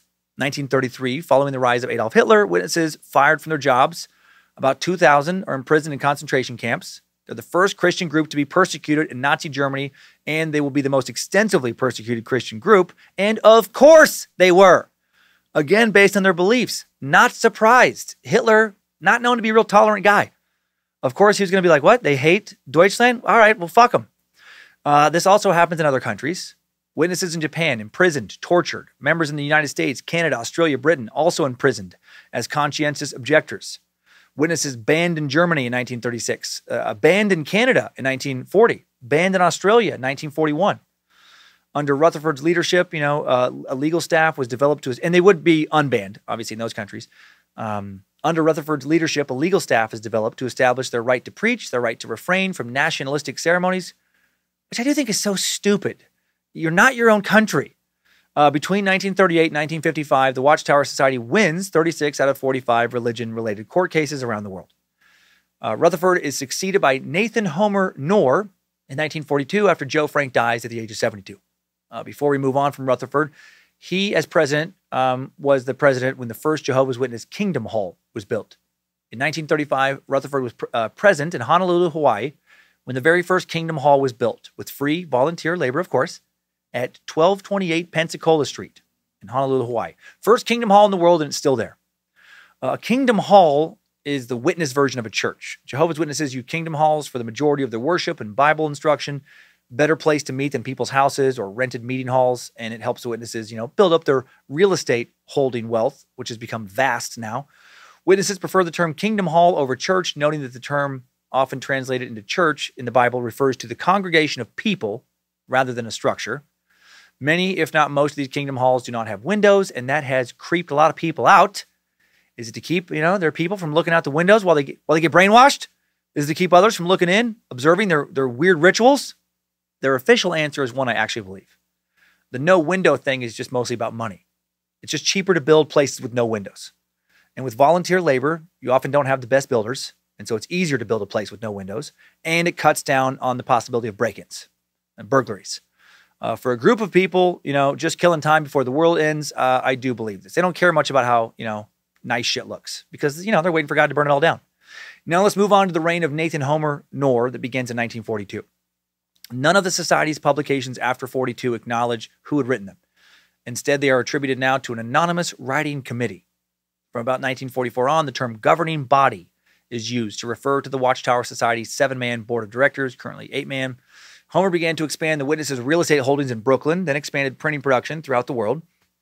Uh, he also organized a series of international assemblies that were way bigger than those of Joe Franks in the 1920s. 1958, more than 253,000 witnesses gather at two New York venues, Yankee Stadium and the Polo Grounds, for an eight day convention where more than 7,000 are baptized. Under Homer's watch, new training schools were built, including the Watchtower Bible School of Gilead in Patterson, New York. Under his eye, uh, to train missionaries, and the Theocratic Ministry School on the shores of Africa's Lake Victoria in Tanzania to give instruction in preaching and public speaking at the uh, congregational level. Homer also commissioned a new translation of the Bible, which was released progressively from 1950 onwards before being published as the complete New World, New World Translation of the Holy Scriptures in 1961. Another reason a lot of Christians have problems with witnesses, they have their own Bible. Uh, 1961, Homer's witnesses make yet another doomsday prediction. This time they predict that the end of the world will arrive in the year 2000. So here we go again. At least with this one, they pushed the date out far enough for leadership to have plenty of time to enjoy all that donation money before they once again look like asshats. But then, five years later, they do something really stupid and they bump up their doomsday prediction to 1966. Uh, the Watchtower says that Christ's kingdom on earth will be established fully by 1975. Should have stuck with 2000. You know, they just moved up inevitable embarrassment by 25 years. Uh, September 15th, 1971 issue of the Watchtower warns that all worldly careers are soon to come to an end. They advise youths that they should not get interested in higher education for a future that will that will never eventuate. Great job, guys. How many thousands and thousands of futures were completely fucked over with that prediction? Awesome work. Once again, you idiots. And they wonder why they are still being persecuted in many parts of the world, why they are so unpopular. Real unpopular right now in Russia. They are currently banned there, labeled as an extremist group. And to be fair to Russia, I think they are an extremist group. Uh, I think they bring a lot of this persecution on themselves. The May 1974 issue of the Watchtower Society's newsletter, Our Kingdom Ministry, commends witnesses who have sold homes and property to devote themselves to preaching in their short time remaining. They regard the year 1975 a very promising date for the end of the world based on their original belief that it was the 6000th anniversary of creation of both Adam and Eve at the Garden of Eden or in the Garden of Eden in 4026 BCE, which of course zero zero archaeological evidence supports or evolutionary evidence or common sense. Weird how people who favor doing mathematical calculations based on biblical interpretations uh, over science keep getting end time projections wrong. Membership does rise significantly in the years leading up to 1975, just like it, it had rose in the years leading up to that earlier 1920s, you know, end of the world prediction. Fear of an angry God, you know, coming to smite people real soon works. Some members sell their possessions, cash in insurance policies, etc. All happens all over again in anticipation of the end, which never comes. How do church leaders not get fucking murdered in situations like this? Honestly, if I sold everything and fucked over my future based on continual evangelizing about how Armageddon is definitely about to happen, and then that doesn't happen, I may legitimately kill somebody. I may legitimately kill the preacher in that situation. If one of these doomsday dudes were to get killed in a situation like this, I would feel zero empathy, sympathy, whatever. I would fucking laugh my ass off. Uh, the leadership structure of Jehovah's Witnesses reorganized starting January 1st, 1976, now, with the power of the presidency passed to the governing body of Jehovah's Witnesses and the establishment of six committees to oversee tasks such as writing, teaching, publishing, and evangelizing work. A lot of time, money, a lot of committees, uh, you know, invested in basically just uh, continuing to tell everyone that none of this shit will matter soon. At this time, Watchtower Society uh, publications began using the capitalized name. They were lowercase Jehovah's Witnesses before, now they're capital Jehovah's Witnesses. Also, following the world not ending 1975, membership, you know, drops off for a few years, just like it did back in the 20s, when some angry witnesses, you know, finally realized they'd fallen for some bullshit. Uh, 1977 now, President Nathan Homer Knorr dies at the age of 72. Cerebral tumor got him. I bet he died super sad that he wasn't able to watch Invisible Jesus materialize and start beating down sinners. Uh, subsequent presidents of the Watchtower Society after Knorr's death in 1977 are Frederick William Franz, who would lead from 77 to 92, when he died at the age of 99. Man, uh, Milton George Henschel would lead uh, from 1992 to 2003 when he'll die at the age of 82. Don Adams will lead from 2003 to 2014 before he uh, yeah, dies at the age of 94 in 2019. So he, he left five years before he died. And then Robert Ciranko, he has led since 2014. Currently 74, is alive. There's a bunch of pranks online about him dying of COVID. Does not seem to be true. Uh, you know, one old, joy hating white man after another hoping for the world to end. Back to 1980 now. A purge of senior Brooklyn headquarters staff is carried out in April and May of 1980 after it's discovered that some uh, at the highest ranks of the hierarchy don't agree with early core Watchtower Society doctrines, particularly surrounding the significance of 1914. So these, uh, these guys can't all agree on the same craziness. In February, three governing body members, aware that people who had been alive in 1914 were rapidly dwindling in number, despite the additional Watchtower teaching that their generation would be alive to see Armageddon for sure, they now propose a radical change in Watchtower doctrines to require that the generation that would see the arrival of Armageddon had been alive only since 1957, the year of the launch of the Russian space satellite Sputnik. Obvious devil sign. Obvious sign of devil magic. The proposal, which would have extended the deadline for Armageddon by 43 years, fails to gain a majority vote. Those who wanted the change they're kicked the fuck out. The purge results in a number of schisms in the movement in Canada, Britain, and Northern Europe. Prompts the formation of loose groups of disaffected former witnesses. Of course, the Watchtower does not consider them real Jehovah's Witnesses, and these groups now are either, you know, super tiny or just they fizzled out, they're just gone. What is happening? If all this seems confusing, it is, and you can blame the Jehovah's Witnesses.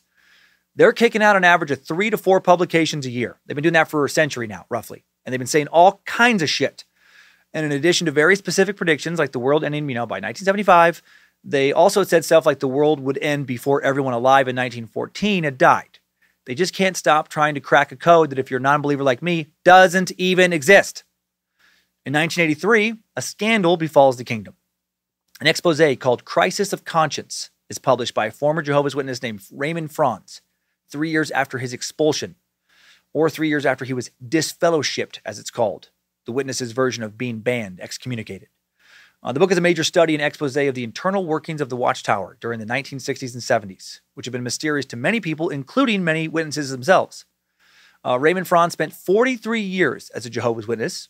He was in deep, had an amazing pedigree third generation witness. And not just any third generation witness. His uncle, Frederick William Franz, was the president I just mentioned, who led from 1977 to 92.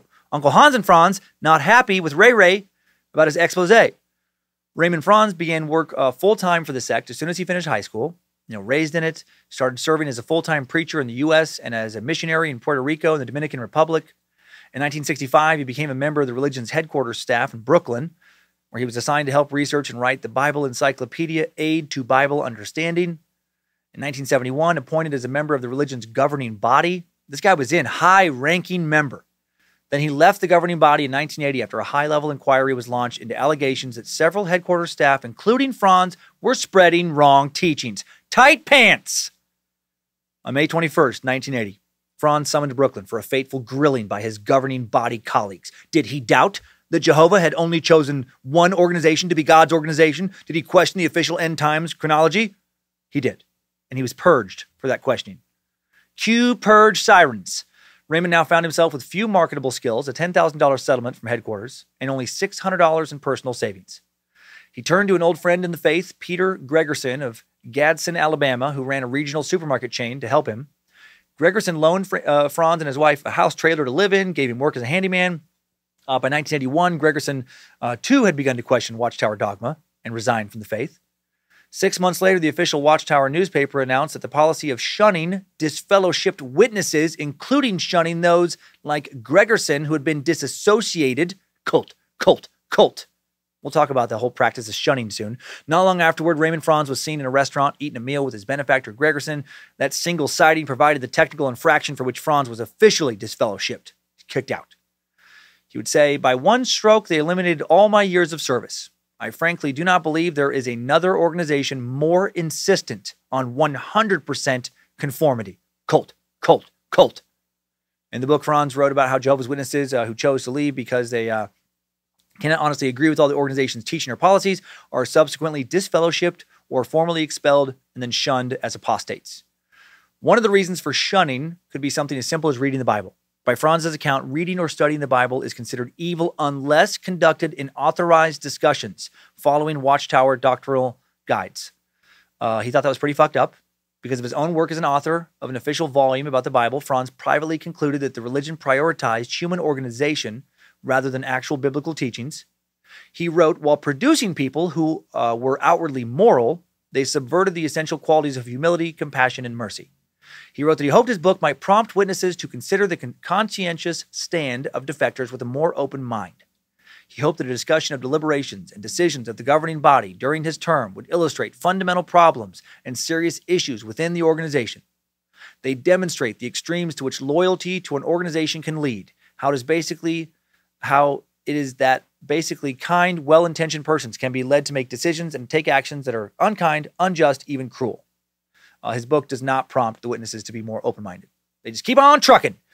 The doomsday is probably coming tomorrow. Express just keeps rolling down the track, same as it, same as it ever was. Back to our main history of their movement now. In 1984, the Watchtower has, non has now, excuse me, gone back to believing firmly that the end of the world is going to happen by you know 2000 at the latest. They can't help themselves. Uh, and then, then of course, it doesn't. Uh, beginning in 2004, various Watchtower Society properties in Brooklyn are sold in preparation for the establishment of a new world headquarters in Warwick, New York, completed in 2016. And that's where Jehovah's Witnesses headquarters still stand today. Currently, Watchtower publications hint that the end of the world is going to occur in 2034. Why 2034? Because Noah preached 120 years until the time of the flood which was the time of the end to Noah and his generation. And then they've done some funky math and added that into some other things, and they just they fucking they will not quit. Uh, let's hop out of this timeline now and dig further into the beliefs, practices, and structure of this very, very strange organization. Good job, soldier. You've made it back. Barely.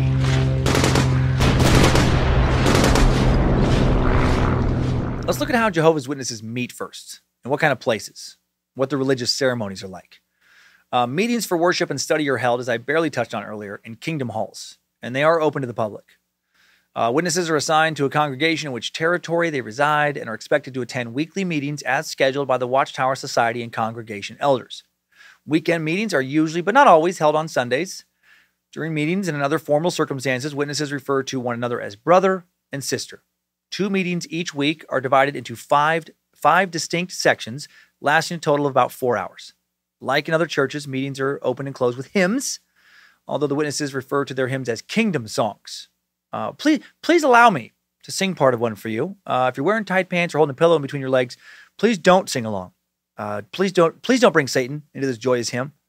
Go put on your spib, or maybe you're safe, and and get the devil out. This is uh, called Jehovah's attributes. I gotta, I gotta let it build a little bit, and then uh, I'll jump in. I'll jump in at the right time.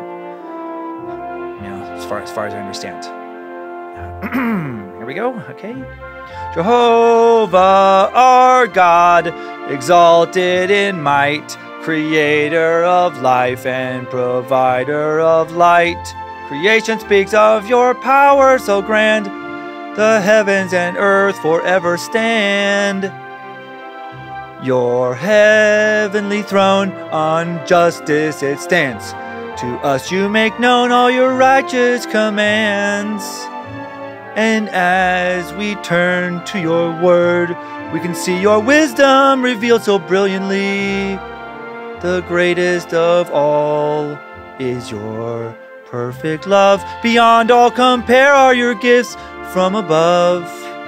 And I cannot wait to see the fate of evil sinners listening to pop music wearing swimsuits. Your glory will burn and stomp them out. I cannot wait to hear them scream in pain and shout.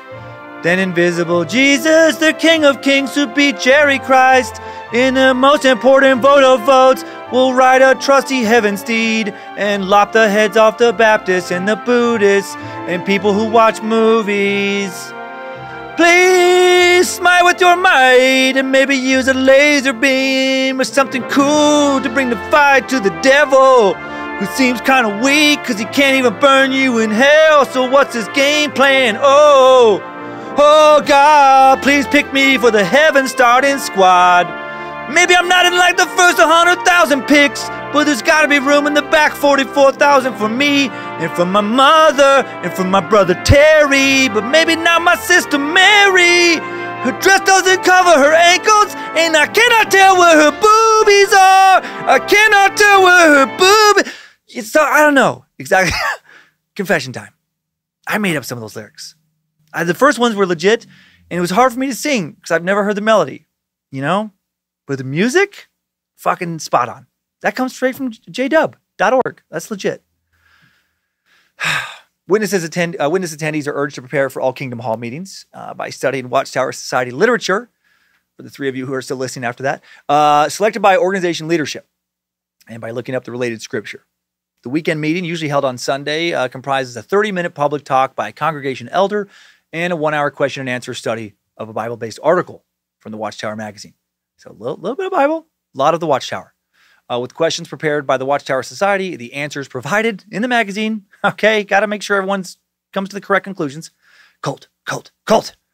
Uh, these meetings, both the community ones and the larger ones, very important. Sociologists who have studied them say that meetings at Kingdom Halls intensify witnesses' sense of belonging to a religious community and reinforce the idea that the world is ending soon. Even the Watchtower seems to admit this, saying that uh, one role of the frequency and length of the meetings is to protect witnesses from becoming too involved in the affairs of the world. Stay away from Netflix and TikTok. You can't be TikToking and, you know, in spandex shorts if you want to get to heaven. Uh, witnesses are told they should never miss a meeting unless there is a serious reason, uh, reason, and witnesses are required to do more than show up at two meetings uh, a week as well. Uh, Watchtower Society also recommends that witnesses maintain a weekly family worship evening for family and personal study, you know, in addition to those two meetings. Uh, there's no formal way family worship meetings are supposed to happen, but no surprises here. The Society re- recommends that members consider Watchtower Society publications during this time. Read the Watchtower. Don't just read the Bible willy nilly and come up with your own ding dong conclusions. That's how the devil gets you. Each year, witnesses from several congregations uh, will form a circuit and gather for two one day assemblies. Then, several circuits will meet once a year for a three day regional convention and then every few years, the governing body of Jehovah's Witnesses will hold international conventions in selected cities around the world. These are larger gatherings, usually held at rented stadiums. Uh, their most important and solemn event is the celebration of the Lord's evening meal, sometimes called the memorial of Christ's death. Jehovah's Witnesses are taught that this is the only celebration the Bible commands Christians to observe. Uh, they celebrate it on uh, Nisan 14, according to the ancient Jewish Luna solar calendar. What the fuck? They can't even use a regular calendar. If you're curious, the next Nisan 14 is April 15th, 2022. Then it's April 5th, 2000 or 2023. Then April 22nd, 2024. Then April 12th, 2025. It's just fucking needlessly confusing. Uh, the memorial held after sunset includes a talk on the meaning of the celebration and the circulation among the audience of unadulterated red wine and unleavened, un, unleavened bread. Uh, Jehovah's Witnesses believe the bread symbolizes Jesus Christ's body, which he gave on behalf of mankind. The wine symbolizes his blood, which redeems one from sin. But because many congregations have no members who will claim to be anointed, very common for no one to eat the bread and no one to drink the wine. And it just gets thrown in the trash at the end of the service like God intended. Not kidding. Jehovah's Witnesses believe that being anointed involves a personal revelation by God's Spirit, which gives positive assurance of adoption to that individual alone. They believe only the 144,000 are anoint- anointed. So if you drink that bread or wine, you are basically announcing to your congregation that invisible Jesus has told you that you're one of the chosen few. Most Christians believe that anyone who has accepted Jesus as their personal Savior are anointed. To be anointed simply means that you have the Holy Spirit in you, that you were chosen by God, and to be chosen, you just have to choose Christ. So, pretty easy application process. How weird just to lay out a bunch of bread and wine and they just throw it all away. Uh, let's pivot now to what Jehovah's Witnesses believe. Uh, witnesses hold a number of traditional evangelical Christian views, like many we've covered in other sucks, including the recent suck about the aggressive Christian missionary training corps cult, but they also have many beliefs very unique to them. Witnesses affirm that God, Jehovah, is the Most High. Jehovah is a Latinized form of the Hebrew name of God used in some translations of the Bible. Uh, witnesses also believe that Jesus Christ is God's agent on earth, and through Jesus, sinful meats acts can be reconciled to God, and that the Holy Spirit is the name of God's active force in the world. But they think uh, that these are three distinct entities, that Jesus is God's son, not God, not as powerful as God, and there could be more of God's sons later. Like many evangelicals, Jehovah's Witnesses believe they are under obligation to God to give witness by participating in organized and spontaneous evangelizing. Uh, prospective members are told they have a moral obligation to serve as publishers by participating in the witnesses' organized preaching work. Qualifying as an unbaptized publisher is a requirement for baptism. And the way you become a publisher is by going from door to door telling people about the quote truth. You got to hand out doomsday literature, convince people that God's wrath is coming, and you better join our weird little club if you want to have a lottery ticket chance of getting into heaven. Children usually accompany parents on these visits or go with other elders. Uh, in addition to door to door preaching, witnesses are taught that they should seek opportunities to witness informally by starting conversations with people they meet during routine activities. Like, you know, when they're out shopping or on public transport, you know, direct the conversation towards their beliefs. And that has never happened to me. What a bummer. I must project a pretty strong vibe of not interested. Unfortunate, since I would love to be bothered about this kind of stuff. I'm sure the conversation would eventually get deliciously uncomfortable. Uh, basically, anything bad happening in the news, current events, whatever. That's a cue for Watchtower, uh, you know, uh, the Watchtower to say that the witnesses need to preach more. Uh, much like Keith Raniere's NXIVM cult and those stupid sashes, you can level up by preaching more. Members who commit themselves to evangelize for 840 hours per year, an average of 70 hours per month, they get to be called regular pioneers. But no trophy and no cool t shirt, no gift certificate to Dave and Buster's. Just a title, honestly, that doesn't even sound that cool. It sounds like they didn't think that hard about these titles. Regular pioneers? Come on. How about like Trailblazer or Invisible Jesus Ranger? That sounds better than regular pioneer. Uh, those who commit themselves to evangelize for 50 hours uh, for one month are called auxiliary auxiliary pioneers. Uh, some witnesses go uh, even more above and beyond. They volunteer for special missionary service. These uh, poor people dedicate, on average, more than 120 hours per month to their work. Uh, members who are not able to pioneer are told they can maintain the pioneer spirit by spending as much time as they can helping others preach. Guessing these uh, those regular pioneers really look down on those who only have a little bit of pioneer spirit. There's a whole lot of other vocabulary for people. That's a lot of complicated bullshit. Like the term minister for all Jehovah's Witnesses who have been approved to formally evangelize. They call their baptisms ordinations. Uh, unbaptized publishers are considered regular minister, ministers. Uh, baptized publishers are considered ordained ministers. Other than going door to door, witnesses are also instructed to organize information marches.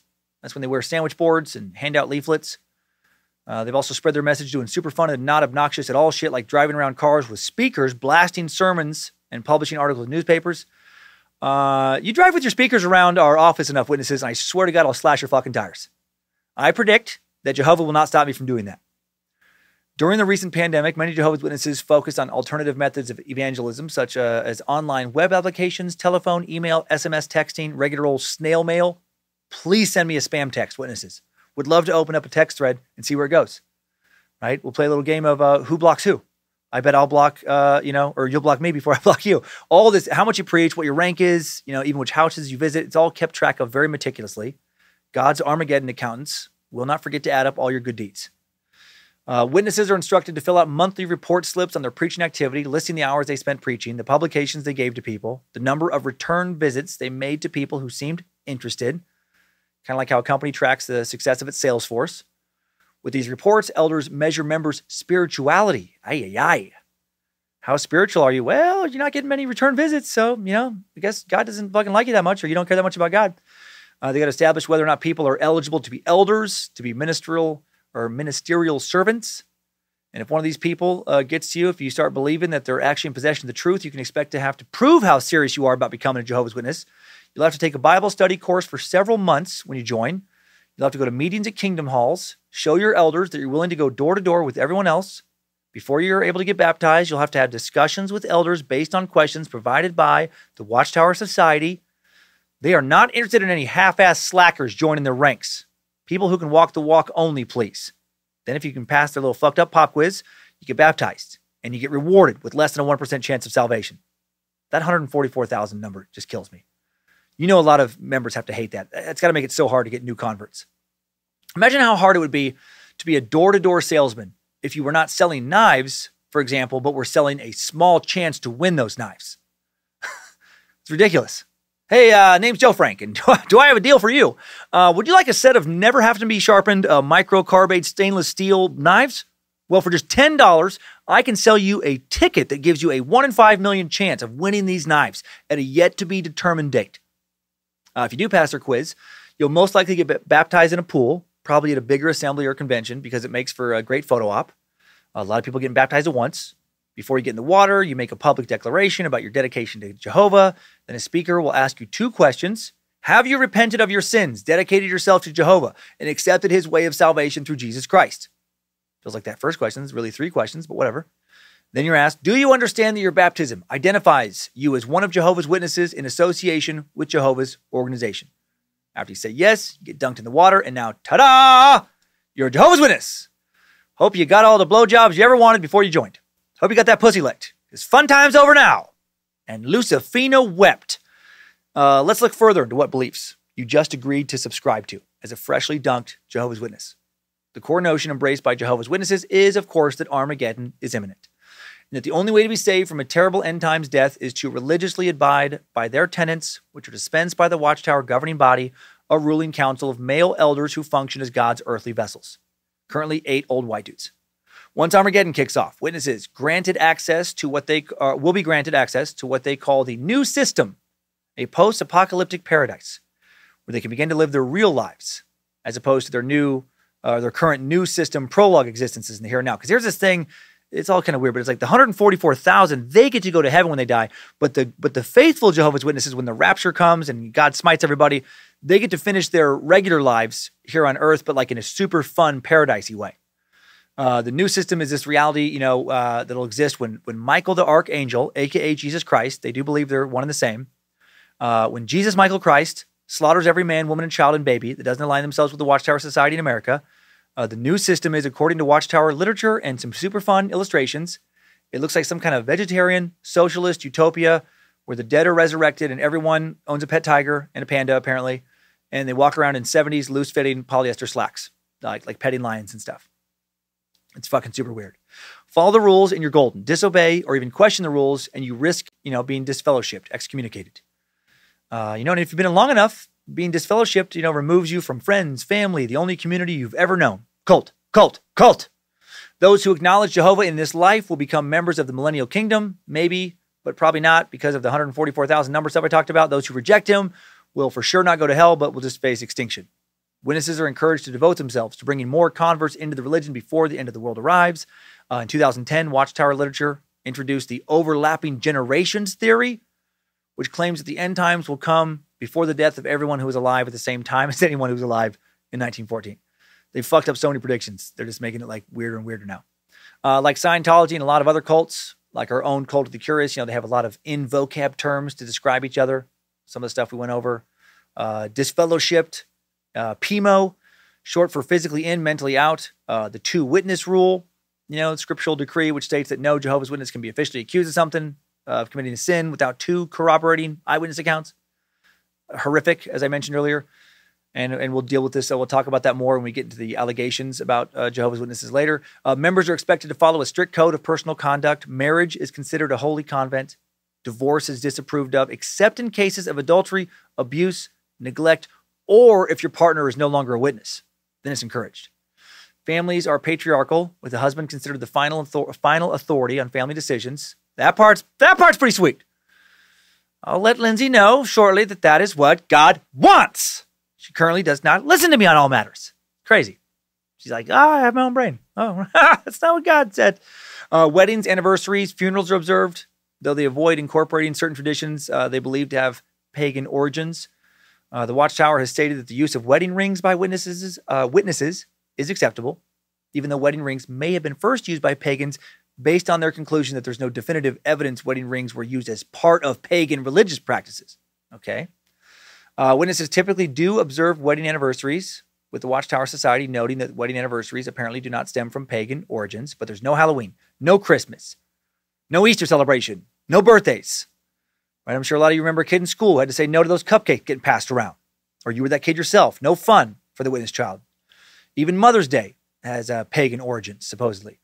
Like many other conservative Christian sects, abortion, you know, considered murder, homosexuality, premarital sex, extramarital sex, considered serious sins. God hates sex. He especially hates it when you stick a peen in a poop hole loophole. Especially, extra especially, if that loophole is near some dude's tiddlywinks. Man butt loopholes full of so much devil. Full of a little extra devil, especially when they're constipated. Gosh dang, that peeves God. Uh, smoking, including vaping, abuse of drugs, and drunkenness, are prohibited, though alcohol is permitted in moderation. Makes total sense. God hates weed and shrooms, but he, but he likes the occasional beer. Everyone who knows anything about God knows that. Uh, the society stresses dressing modestly, and that if members don't dress modestly, they could cause others to stumble on the religious path and fall right into Satan's nest. Right? God hates tight jeans and short skirts. We went over that. Those lead to boners and wet pussies. God hates those. Uh, entertainment promoting immoral, demonic, or violent themes like this podcast are considered very inappropriate. No surprises there. If you're a witness listening to this podcast, ho ho, better not tell any of your elders. Better not let any pioneers or publishers or jugglers or peggers or sword swallowers or half elf paladins or fucking whatever, uh, you know, find out that you're time sucking. God hates me and hates his show. Uh, guessing your witness brethren would not laugh if your Bluetooth disconnected and they heard some of this, you became a Cummins Law victim. You'd be quickly disfellowed, disfellowshipped which might suck at first, but you writing in about that would probably be one of the greatest time sucker updates of all time. Uh, uh, and after acclimating, you know, to life outside the witnesses, I think you'll probably be a lot happier. Uh, the witnesses' teachings also st- uh, stress strict separation from uh, all secular government, although they are generally law-abiding and believe the governments are established by God to maintain some peace and order. They refuse, on biblical grounds, to observe certain laws. For example, they will not salute the flag of any nation because they think that's an act of false worship. Uh, they refuse to perform military service, which has made them very unpopular in nations that require military service. Uh, they won't participate in public elections, which means as a voting base, they don't fucking matter. Uh, they do pay taxes, but only because they have to or they'll end up in jail. Uh, they can't work in any government post. Instead of believing they're beholden to any kind of secular legal system, as I mentioned earlier, they have their own internal processes for dealing with shit. They like to, they like to deal with problems in house, big time. Formal discipline is administered by congregation elders. In the event that an accusation of serious sin is made concerning a baptized member, the elders they will talk to the accused individual. If it's determined that a serious sin has been committed, a tribunal or judicial committee, usually composed of three elders, almost always old white men, is formed to determine guilt, administer help, and possibly apply sanctions. Disfellowshipping is the most severe sanction. Before taking this step, the judicial committee must determine that the individual has committed a serious sin and there's evidence of true and there's no evidence, excuse me, of true repentance. After a person is disfellowshipped, the person is then shunned by all baptized members. Uh, reproof, another form of sanctioning. Members considered truly repentant are reproved rather than disfellowshipped. Reproof is given before all onlookers, based on an interpretation of 1 Timothy. Uh, but those elders who are sinning, you are to reprove before everyone so that others may take warning. If the sin is known generally by the entire congregation or the community, an announcement is made informing the congregation that one person has been reproved. Teddy has been reproved. He wore tight pants three days in a row. He knows what he did, and he will be wearing hammer pants going forward. Uh, reproved members usually have some congregation privileges restricted until the elders decide that the member has regained spiritual strength. Mostly these privileges are, you know, things like getting to speak in meetings and getting to pray for a particular group. Uh, another form of sanctioning is called marking. Marking is applied when a member's course of action is a violation of the Bible's principles, but isn't worth getting disfellowshipped for. Maybe the pants aren't that tight. The person gets counseling, and they, if they don't respond to it in the way that the society wants, they get marked, which means that an announcement is made to the group saying that someone's actions are wrong. Teddy's pants are kind of tight, and we don't care for it, and that's why he sits in the naughty corner. Uh, marked people are not shunned completely, but their social contact is limited. Don't t- don't talk to Teddy today. Uh, as crazy these practices and beliefs are, uh, the big one to reach the news, and one you might already know about, is the uh, Jehovah's Witness ban on blood transfusions, even in a dire medical emergency. This is based on their interpretation of scriptures like Leviticus 17:10 uh, um, uh, and 11. I will certainly set my face against the one who is eating the blood, and Acts 15:29, abstain from blood. Um, actually, I think it's just that. Yeah, verse, Leviticus 17:10. Sorry. Uh, interesting they follow this Leviticus directive, but ignore so many others, like Leviticus 17:3. Ye eat neither fat nor blood. Or 1927. Ye shall not round the corners of your heads, neither shalt thou mar the corners of thy beard. Or when God says uh, in chapter 21 that you should not allow dwarfs into your congregation. Not joking. Whosoever he be of thy seed and their generation that hath any blemish, let him not approach to offer the bread of his God. And then a bunch of different people are listed, including dwarfs. Uh, the book of Leviticus is full of so much crazy shit. Literally, no denomination accepts all this book as actual rules you should follow. So why pick any out? Why accept any of them? Just like it's weird and nonsensical to focus just on homosexuality, also weird to single out and focus on blood transfusions. This idiotic policy has led to numerous deaths and lawsuits over the years. In one case, a 16 year old was in an automobile accident, needed surgery, surgery that would require blood transfusions. Physicians attempted to persuade the patient and his mom, uh, divorced with custody of her son, to consent to the transfusion. She turned them down. When the surgeon told the patient's mom that the patient was in imminent danger of dying from his injuries without the blood transfusion, and she denied them yet again, preferring that her son would literally just die instead of get medical treatment that was, you know, readily available that she considered a sin, the hospital took action.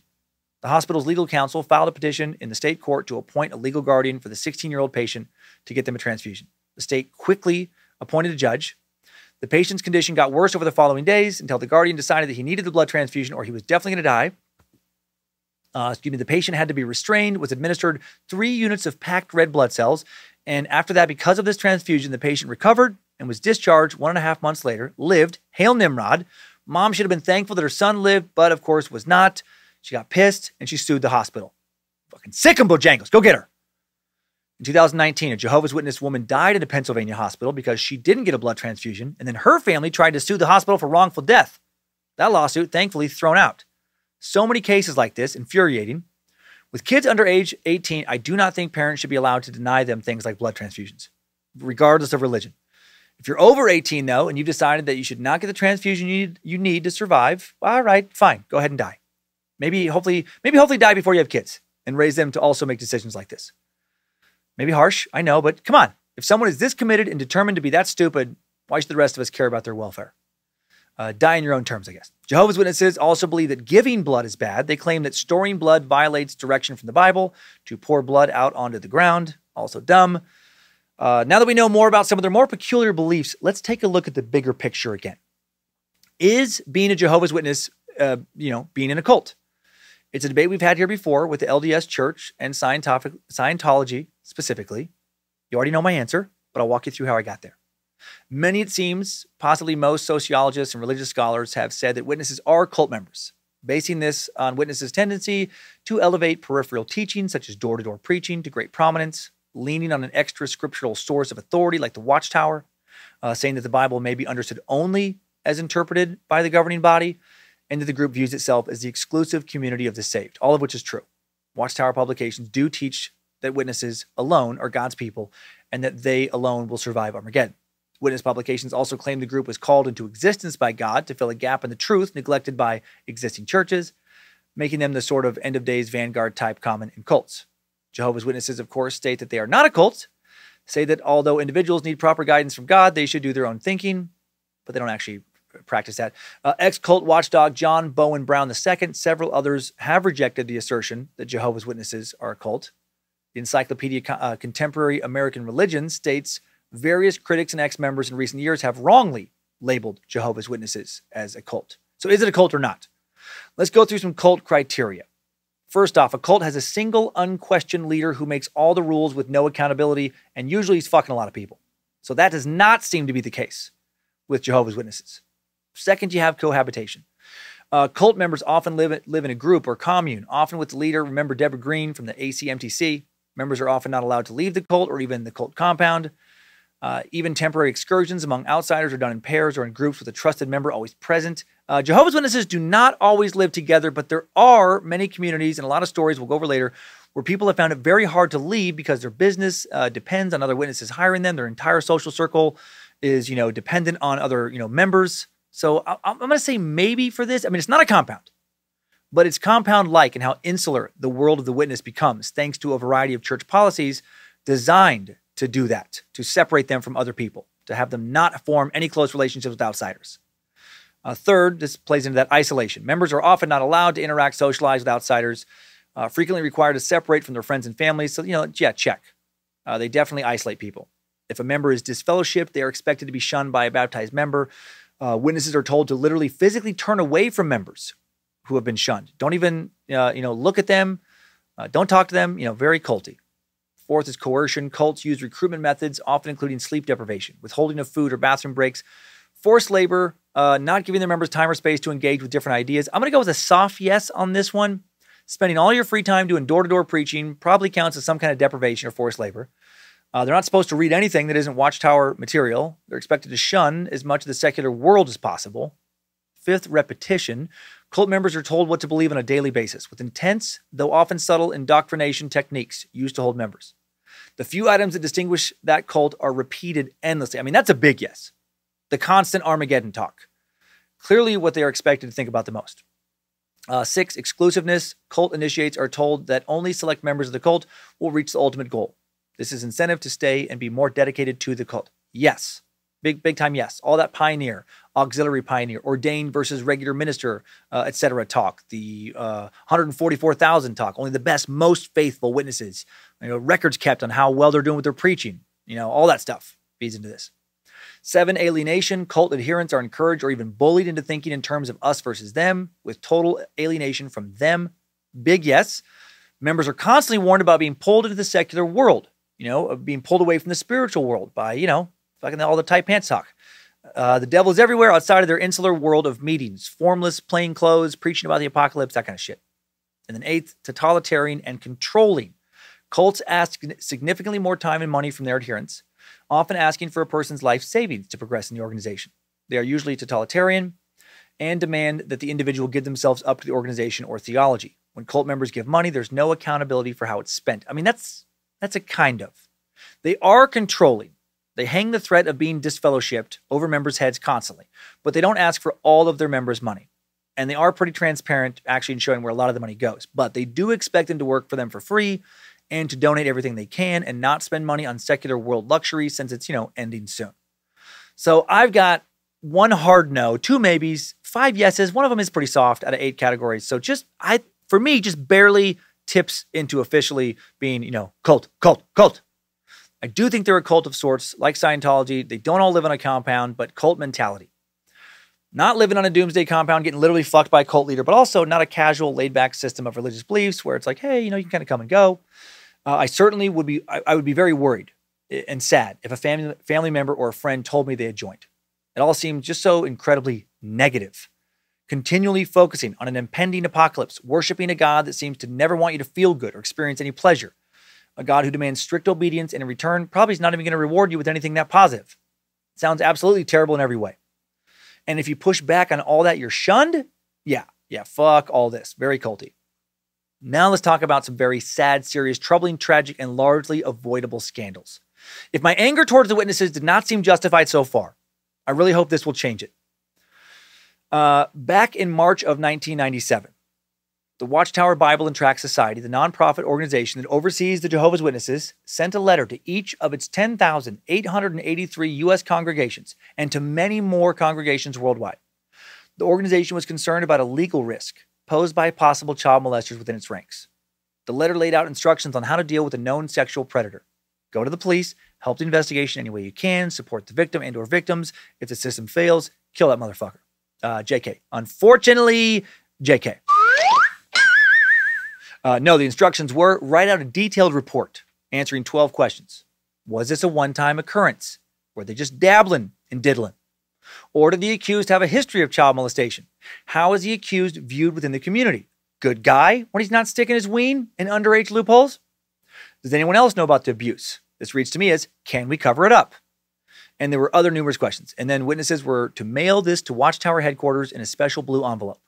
Also, keep a copy of the report in the congregation's confidential file and don't share it with anyone else.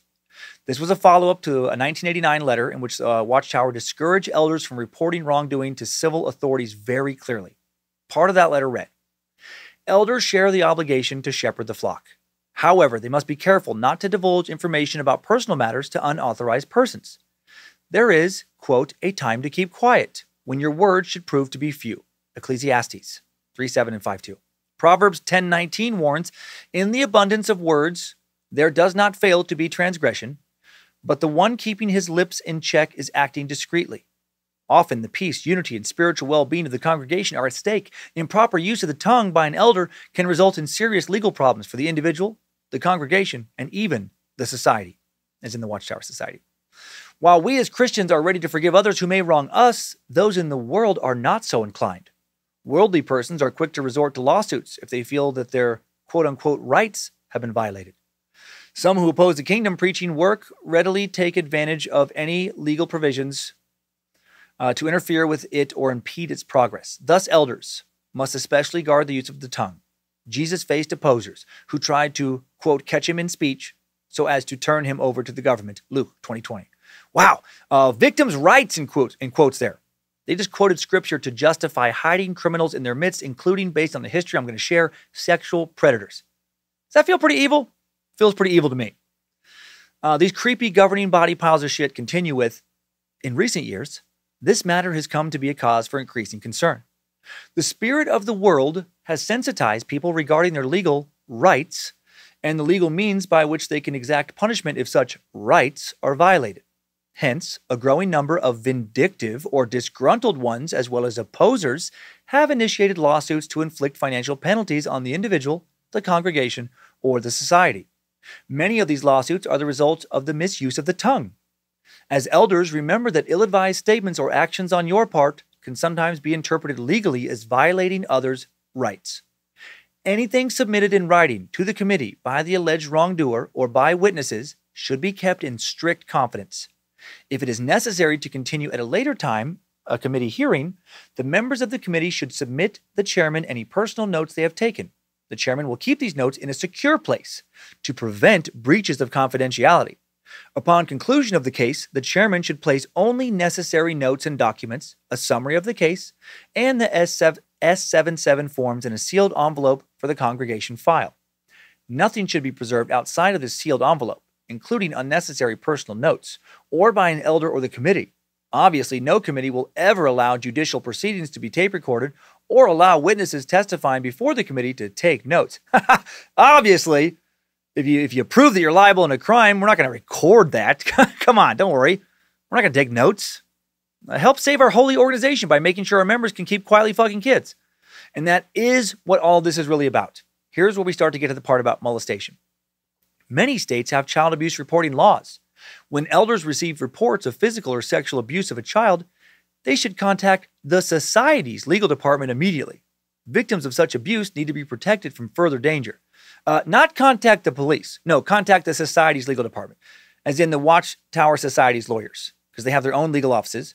Uh, you can connect with them on their website right now if you want. You can probably report some sexual abuse. They'll be happy to hide for you. They continue. In some cases, the elders will form judicial committees to handle alleged wrongdoing.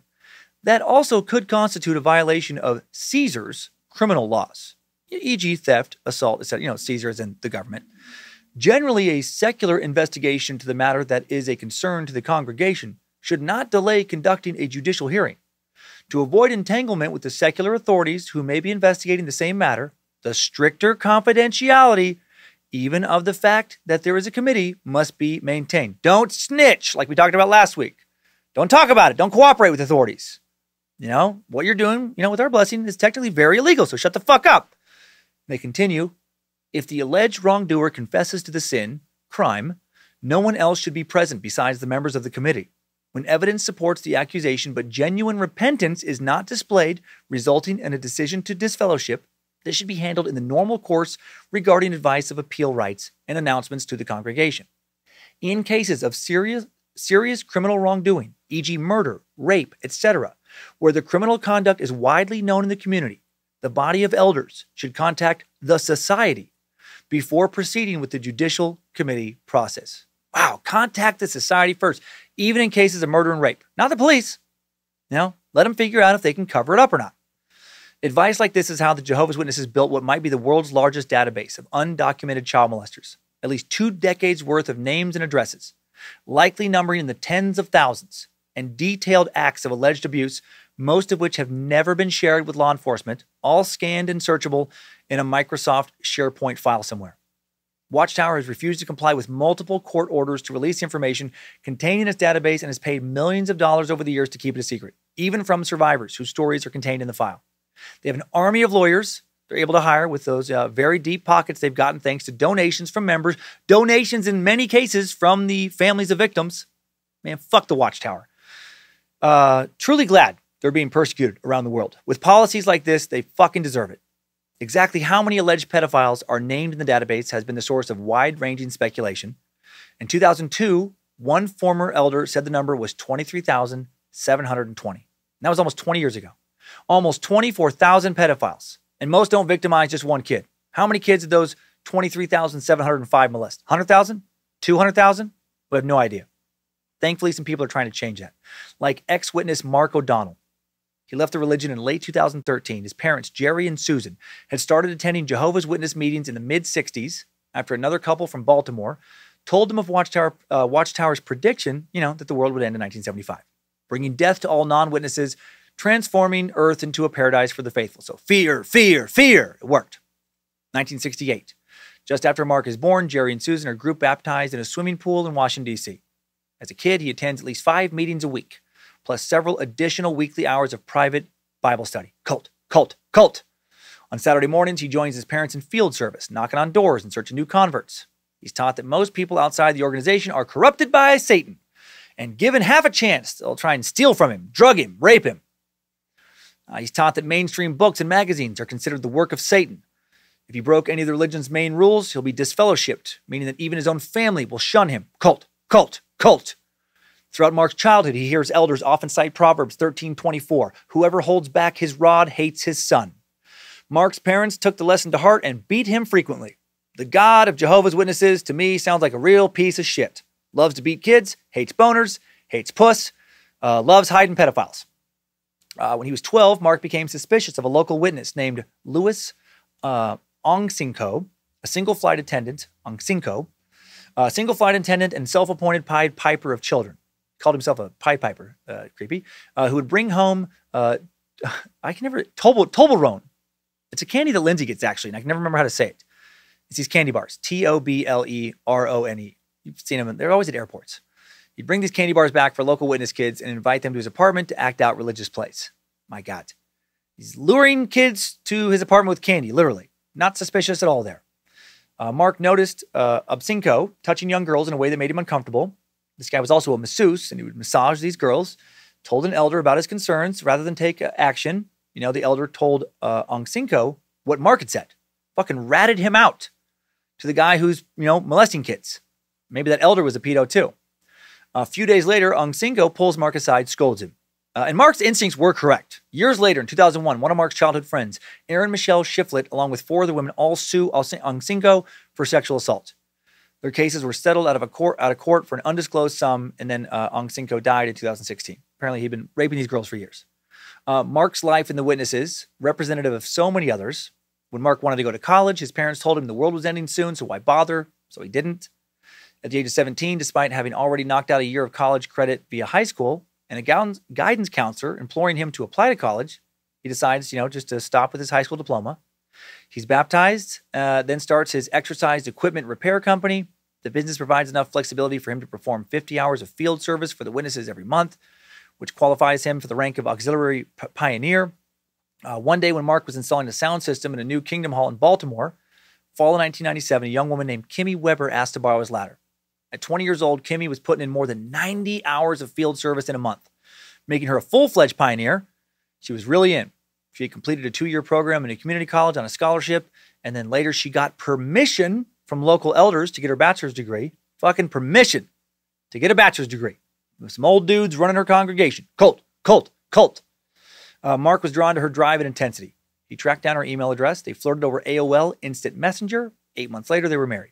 They wanted to start a family, but they decided to wait until after the rapture. You know, when the earth and their kids would be perfect. When Jesus, Michael Christ, was done smiting and burning evildoers and whatnot. In the meantime, Kimmy began opening uh, their home to abused and abandoned cats. Uh, Mark's business, uh, his, his business grows. He brings on additional employees, mostly other witnesses. When he and Kimmy have enough money to uh, buy the house across the street as a rental property, they fill its three units with other witnesses. Uh, they go on some ski vacations, softball games, dinner parties. They have game nights, always with other witnesses. They're having as much fun as Jesus will allow. Uh, Mark is happy ish. He likes his friends, but he is aware that he's living in a J Dub bubble, in a, in a J Dub echo chamber. Uh, he'd also been hearing rumors that Watchtower organization, or that the Watchtower organization was covering up cases of pedophilia and child abuse. You know, uh, uh, suspicions that Watchtower publications would always dismiss as, you know, apostate driven lies. You know, the devil trying to bring him down with slander and gossip. Then one day, a few years after he and Kimmy get married, Mark sees a protester outside a witness convention holding up a sign that reads, A JW elder molested me. He looks at the sign, something snaps into place in his brain. He just feels in his gut that this dude's not lying. And then he can't stop thinking about this guy. He thinks about him for years. And then in 2013, he's finally ready to leave the church. 2013 is the, is the year Mark has an extreme reaction to an antibiotic, and he ends up confined to his couch for several weeks, removed from constant meetings, constant Bible studies for the first time in his life. He's left alone with his thoughts for the first time in his adult life, and he begins to admit to himself that he no longer believes the apocalypse is imminent. Sacrilege. And he always, uh, you know, felt that Jehovah's Witnesses he knew were no more deserving of God's mercy than many non-believers he'd met. He admits this to himself. He was 45 years old now in poor health, and he wondered how much more of his life did he want to waste inside the J-Dub bubble he'd always been in.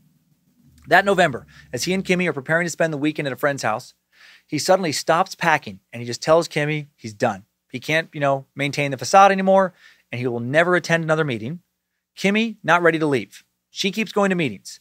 And now her witness friends try to pressure her to divorce, uh, you know, her husband Mark, because, you know, he's not a witness anymore. They tell her Jehovah comes first. Cult, cult, cult. She doesn't want to leave Mark, though. She's trying to figure out a way for her to stay a witness, you know, while Mark is no longer in the church. Luckily, their connection is stronger than the powerful hold of the witnesses. Thank God they had each other. Mark's doctor had suggested that he take daily walks as part of his recovery. Kimmy already was doing evening strolls, so he starts to join her. On their walks, Mark tells Kimmy he had once planned to be an engineer, that he'd been forced to choose between God and his ambition. Kimmy said she once dreamed of being a doctor or a veterinarian. She revealed she'd always been terrified, also, that having kissed Mark before they were married meant she was going to die in the apocalypse. She was afraid that she and Mark missed their chance to have kids, you know, because they're waiting for the end of the world. Mark, who had started reading so called apostate material, anything not published by the Watchtower, uh, watching YouTube videos created by former Jehovah's Witnesses who pointed out fallacies and lies from the Watchtower, he starts sharing this info with Kimmy, challenging what she'd been taught, such as the truth about that 1975 doomsday prediction. Inside the witnesses, their history of constantly fucking up these predictions gets continually covered up. If a witness were to hear this podcast, for example, you know, and, and tell some elders, well, they would get in trouble for listening, but if they, they wouldn't believe it though, right? I'm a liar, I'm corrupted by Satan, I made it all up. Kimmy had grown up believing that overzealous witnesses, not the Watchtower, chose that date. Nope. Mark, who rarely threw things away, encouraged her to read original old Watchtower articles he had kept since he was a kid, exhorting members of the faith to sell their homes for the 1975 apocalypse. Hard to deny that kind of evidence. Now Kimmy was learning that she had been, you know, lied to her whole life. And by August of 2014, Kimmy's faith begins to really unravel.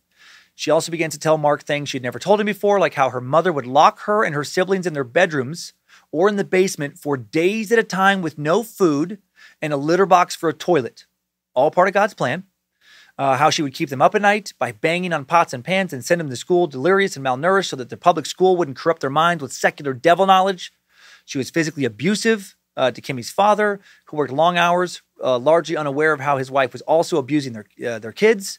Kimmy's mom used animal cruelty to keep her kids from telling anyone what she was doing. She would drown kittens in the toilet, hang the corpses from a ceiling fan in their bedrooms, place them in a jar by her fucking kids' beds, which the kids interpreted as their mom telling them that she will kill them if they don't do as they're told. What the fuck?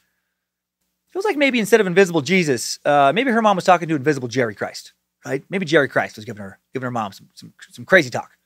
Ah, you can trust me. I was almost a king of heaven for my bro. Freaking stole it from me, gosh dang. Go ahead. Hang the kitten from a fan. No, no, no. My dad gets mad about it. I'll talk to him. Uh, 12 years old, she's brave enough to go to the elders in her congregation to ask for help from her mom's abuse.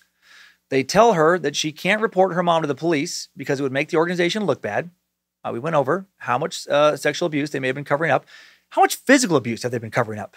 How much abuse in general are they still covering up? Uh, they discourage her from seeking counseling because a therapist might blame their religion, might get the authorities involved. They're so gross. Finally, the elders ask Kimmy a question. If her mom did end up killing her, could that prevent Jehovah from resurrecting her in the apocalypse anyway? So she says no. And then they tell her just to go home and obey her mom. Oh my God. Who cares if your mom kills you? God will bring you back to life in a couple years, tops anyway. What's this big deal? Kimmy went to the elders again at 15 to disclose more physical abuse after she'd been baptized. This time, the elders said they would now need a second eyewitness before they could intervene. If only you and the abuser saw it, nothing we can do. Two witness rule. Kimmy offers her brother as a second witness, who had also been abused, but she's then told his testimony won't count because he's not a baptized witness. So many fucking loopholes. So determined not to help these victims. Kimmy had heard of the two witness rule before. She assumed it was a peculiar, peculiarity of her local congregation. But then Mark tells her it's not, and that it's practiced everywhere, and she's fucking horrified. And now she's done, and she'll never attend another meeting either. Excuse me. Both have left the organization now, and of course, they are severely punished. You know, they're shunned. Uh, Mark's witness employees, they all quit. Their witness tenants all move out literally in the middle of the night. Close friends now suddenly pretend to not know them in public, turn their backs to them. Cult, cult, cult. Mark's business, which had been entirely import, uh, supported almost by witnesses, begins to fail. He has no degree or formal education to fall back on. He decides to fight back. He's now determined to learn about the extent of Jehovah Witnesses' abuse. Why? What were they trying so hard to keep hidden? Mark joins Facebook uh, under the pseudonym John Redwood, begins to find other former witnesses with similar stories. As he connects with ex witnesses around the world, he's struck by how similar their accounts are to his own. He begins writing about his experiences on Facebook. Uh, his posts spur conversations with more former witnesses, uh, gives him a new sense of purpose to help people. In the summer of 2015, he and many other ex witnesses are fascinated by some big Jehovah's Witness hearings in Australia. The investigating commission there had been trying to get testimony from a number or from a member of Watchtower's governing body, uh, which then, you know, consisted of eight men as it does now. Watchtower had managed to avoid a subpoena by claiming that the governing body was just advisory and they played no role in creating policy. Mark, who had obsessively collected Watchtower literature his entire life, had the evidence to prove this was not true. Hail Mark, dude's a fucking hero. He digs out an old copy of the Branch Organization Manual, an obscure document explaining all the functions of the governing body, emails it to Angus Stewart, lead litigator in the proceedings. Stewart uses the manual to subpoena one of the Watchtower's governing body members, a guy named Geoffrey Jackson. In front of the commission, Jackson becomes the first active member of Watchtower's governing body to publicly acknowledge that, quote, child abuse is a problem right now throughout the community. He also admits that in most cases, children who make such charges against the Watchtower are telling the truth. Too bad they didn't throw him in prison for making that admission. How much child abuse did that motherfucker cover up over the years on his watch? Uh, an emotional moment for Mark, he now knew that his knowledge of the Jehovah's Witnesses was good for something other than recruiting other members in the past, bringing more people into a horrible community. Now he's helping people get out. Uh, he's helping justice. In 2017, a Jehovah's Witness man and his girlfriend, partially inspired by Mark, they began walking into random kingdom halls in Massachusetts, opening locked file cabinets with a set of stolen keys and taking out copies of sealed documents. They'd heard chatter about Watchtower covering up child abuse. At first, they just wanted to see the evidence themselves, see if it was true or not.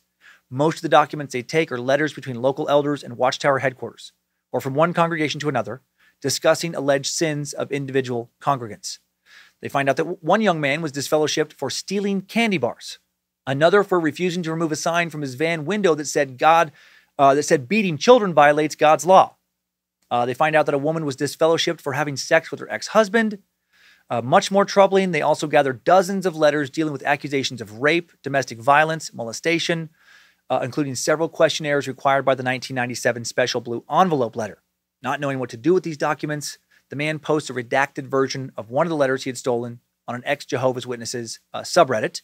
Just five sentences long, the letter informed Watchtower that a ministerial servant had admitted to physically and mentally abusing his wife for years. In the most recent incident, he beat her so badly she had to seek medical attention. Uh, if it were not for her concern over the reproach it would bring on Jehovah's name. So she was supposed to seek medical attention, but she still didn't. As punishment, the husband was stripped of his rank and he lost special privilege, privileges for a little while. He no longer got to handle the microphone at Kingdom Hall meetings. Ooh, he doesn't get to touch the microphone. He really learned his lesson. Uh, no mention is made of involving the police or taking steps to protect to protect the wife because that didn't happen. Mark reached out to the man who mailed in the documents. What Mark read horrified him, uh, but didn't surprise him. Uh, the sins described in the letters range from the mundane, smoking pot, marital infidelity, drunkenness, to sexual abuse. One example was a series of letters from a man from Springfield, Massachusetts, who had been disfellowshipped three times, and then they just kept letting him back in. Uh, when the man was once again reinstated in 2008, someone working in a division of Watchtower wrote to his congregation, noting that in 1989, he was said to have allowed his 11 year old stepdaughter to touch his penis on at least two occasions. Allowed. Like she wanted to, and he finally let her. An investigative journalist later tracked down this girl, now a woman. She told the reporter, He was the adult, I was the kid. I didn't have any choice. It took me two years to go to my mom about it. Her mom immediately went to the congregation's elders, who later called the girl and her stepfather in to pray with them together. Uh, the woman remembered how humiliating that was. Her stepdad was eventually disfellowshipped for instances that involved fornication, drunkenness, lying, according to letters. But according to the stepdaughter, his alleged molestation of her resulted only in his being privately reproved. A closed door reprimand. He got a tongue lashing and a temporary loss of privileges. He was not allowed to offer comments during Bible study or lead a prayer for a little while. Oh man, not allowed to comment during Bible studies. That'll teach him to force his stepdaughter to touch his dick. Good job, elders. Way to protect your flock, you dumb fucks. Uh, no one went to the police. The girl's mom was encouraged to keep the matter private, and uh, no attempt was made to keep the stepfather away from other children. Under his eye, Commander, blessed be the fruit. Another series of documents detailed the case of a witness uh, from the Palmer congregation in Brimfield, Massachusetts, who allegedly aggressively and repeatedly sexually abused his two daughters and another young girl. One of the man's daughters said he had tied her down and molested her. Others said he had raped her repeatedly for nine years. He allegedly took one of his daughters into the woods, showed her where he would bury each of her body parts if she ever told. The girl who wasn't his daughter said he raped her in his neighbor's mobile home when she was only four years old. And what did the elders do? I bet you can guess fucking nothing. At first, they took only nominal action because one of the sisters refused to accuse her father in person. Then in 2003, the elders finally disfellowshipped the man. Oh no, he got disfellowshipped after he confessed to molesting at least one of his daughters. But then he was reinstated a year later, so who gives a shit? They didn't go to the police. Those elders should be in prison with that pedo right now. You know, maybe they didn't want to let the police in because they were doing similar shit. Candace Conti, another person who has spoken out about her suffering at the hands of JW elders. She was raised a witness in Fremont, California. When she was nine, the elders in her congregation paired her with a man named Jonathan Kendrick for Saturday morning field service. Instead of going door to door to preach the word of God, he would take Conti to his house and molest her. And that, he, did that, he did that for two years. Years later, after Conti had left the witnesses, she discovered Kendrick's name on a federal sex offender registry. When she went back to the elders in her former congregation to tell them about the abuse, she was rebuffed by the damn two witness rule again. The elders told Conti that without a second witness to the molestation, there's nothing they could do. Conti asked the elders to consider a plan she had devised for tracking child molesters within the organization so this wouldn't happen going forward, and they refused. These godly men refused to help track down child molesters, all part of church policy. Fuck Jehovah's Witnesses. Candace sued Watchtower, her former congregation, and Kendrick, Hail Candace Conti. I can't speak for Jesus Michael or Jerry Christ, but Nimrod, Bojangles, Lucifina, and Triple M love the shit out of you. During depositions, the elders admitted that they had long known Kendrick had a history of child molestation. They knew before they paired him with Conti for door to door ministry. They paired her with a known pedophile, put the two of them together alone. What the fuck? Those elders, again, should be in prison. Ideally, they should be in prison getting repeatedly raped by their cellmates. And then, you know, they tell the guards what's happening to them. They ask for help. But then when the warden, you know, hears about it, he tells them that, well, unless anyone else saw you being violently sodomized, nothing we can do. We need another witness, which is going to be tough because you share a cell with just your attacker. And the guards are not going to fucking pay attention to what goes on there. Uh, 2012, a jury awards Conti $28 million, believed to be the largest jury verdict ever for a single victim in a child abuse case against a religious organization. But then on appeal, it gets reduced to less than 3 million. So better than nothing, I guess. Uh, in the years since, Watchtower has faced dozens of similar lawsuits from victims who say the organization's policies enabled, protected their abusers. Statistically, it appears as if thousands and thousands and thousands of other cases have just not been brought forward yet. Uh, one such lawsuit brought attention to the database. Jose Lopez was seven years old when he was molested by Gonzalo Campos. Uh, yeah, Gonzalo Campos, uh, a, a fellow witness from or whom the local elders had recommended as a mentor, despite knowing that Campos was a known pedophile, had a history of molesting young boys. Fucking hate this organization so much. Literally nothing likable about them I can think of at this moment. When Campos assaults Lopez in La Jolla, California uh, in 1986 in his home, the boy tells his mom, who immediately reports Campos to the elders. They say they'll handle the situation and, and, if, uh, and for her to not call the police, and then they don't handle the situation. They just allow him to get away with it. Uh, not only get away with it, he thrives in their organization. He rises in the organization, becomes an elder. In 2010, he flees to Mexico uh, for more accusations. Eventually, he confesses in a disposition to molesting Lopez and several other young boys. Lopez files a lawsuit against Watchtower in 20, 2012 when his lawyer requested that Watchtower turn over all documents related to Campos and other known molesters. The organization refuses, saying it doesn't have the resources to locate this information, which is bullshit. A senior official for Watchtower, whose conscience finally got the best of him, later testified that all the information was able to be located easily because it had been scanned, stored in a Microsoft SharePoint database. Still, Watchtower refuses to hand this database over. I hope somebody fucking burns down their headquarters someday. The judge grew frustrated, eventually barred the organization from mounting a defense, hailed that judge, and they hand Lopez a $13.5 million award. Unfortunately, like with Conti, Watchtower lawyers appeal, and an appellate court overturns the ruling, saying the judge should have sanctioned Watchtower incrementally, and the case was settled for an undisclosed sum in January 2018. Fucking dirty lawyering. In almost every one of these cases, pressure to conform and stay silent demanded not only by church officials, but by parents, grandparents, friends, and colleagues, all of whom were so convinced of their righteous path that they believed the act of cutting off their loved ones was a merciful you know, gesture designed to guarantee their eventual salvation. What a way to rationalize sexual abuse. Everyone involved in these cover ups should be so fucking ashamed of themselves and embarrassed to think that some all knowing and supposedly loving and forgiving God would want them to ever behave that way. Back to Mark and his leaked documents now. January 9th, 2018, the documents go live on Faith Leaks. Gizmodo publishes a story.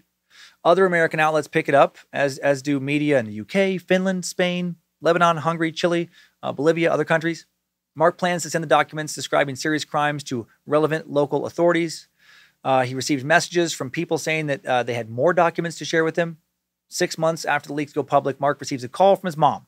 Hadn't spoken with him in more than a year. His father was diagnosed with esophageal cancer, treatment not going well. His parents are still in the, uh, the kingdom. He and Kimmy immediately become involved in his parents' lives, doing their grocery shopping, driving his dad to radiation treatments, managing his care. For the first time in his adult life, Mark grows close to his parents. Kimmy becomes a daughter to them. In January 2019, Mark's father dies. At the funeral, Mark finds himself once again sitting in a Baltimore Kingdom Hall. Though he and Kimmy had, to their great surprise, still not been disfellowshipped, they did not know what to expect both to become vocal Watchtower critics online, no longer bothered to hide their identities. Still, there's an unwritten rule among witnesses that funerals are a no shun zone, so that's good. Maybe the most likable detail I've come across about them. They were mostly greeted warmly. Uh, glad to see some old friends. The elder giving the eulogy spoke of Jerry O'Donnell's ever present smile and endearing habit of obsessive record keeping. Mark even able to extend a little bit of forgiveness towards his parents, realizing the pressure he'd faced from the witness community was also put on his parents. He told a journalist, You have to remember, they were talked into this too. The story of these abused ex members seeking retribution continues. It'll probably keep continuing for quite some time. In February 2020, the BBC reported that at least 20 former Jehovah's Witnesses currently suing the group over historical sexual abuse. I hope these cases win landslide settlements. I hope those settlements embolden more and more victims to come forward. I hope it all snowballs into a massive avalanche of litigation and ideally criminal prosecutions of sexual offenses. And I hope it brings down this insane, doomsday obsessed, child molesting kingdom down. Ah, uh, I, I, don't want a second coming. Maybe God can just come down and smite the leadership of the witnesses. Just, just send down Jerry to fuck them up. Jehovah's Witnesses, what a strange religion. No, strange is not a strong enough word. What a terrible religion. Uh, that's it's garbage to give up so much of your time to knock on people's doors, feel bad about damn near everything, help cover up abusers, study a bunch of nonsensical watchtower society doctrine, and for what? So you can have a tiny chance of going to heaven after some supposed rapture? If you're listening and you're in this group, do yourself a huge favor and get the fuck out. Daretodoubt.org. Daretodoubt.org is one of the many nonprofits dedicated to helping members get out and stay out and figure out how to succeed in life once this terrible organization has shunned you. Contact them secretly. Let former members who have gotten out help you navigate your escape. Let them, you know, help you feel safe getting out. They've been where you are now. Don't waste more of your life in this madness. The Jehovah's Witnesses are a fucking cult and a hateful, dangerous one. I like them less than Scientology now, and I really don't like Scientology. If the Jehovah's Witnesses had it their way, they would live in a completely separate society. They'd operate, you know, uh, outside of any secular nation, have their own theocratic, you know, just monstrous nation, some some Gilead from The Handmaid's Tale. How many kids would get abused and molested in that nation? How many wives would be beaten? Scary to think about, and all unpunished right? As always, there's so much more we could get into. The witnesses certainly are a fascinating and troubling group, but I, I, think I dug into them enough today. So much more destructive than I ever imagined. I thought the worst thing they did was annoyingly knock on people's doors.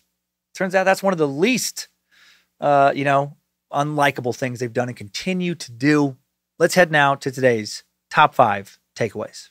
Time Suck Top Five Takeaways.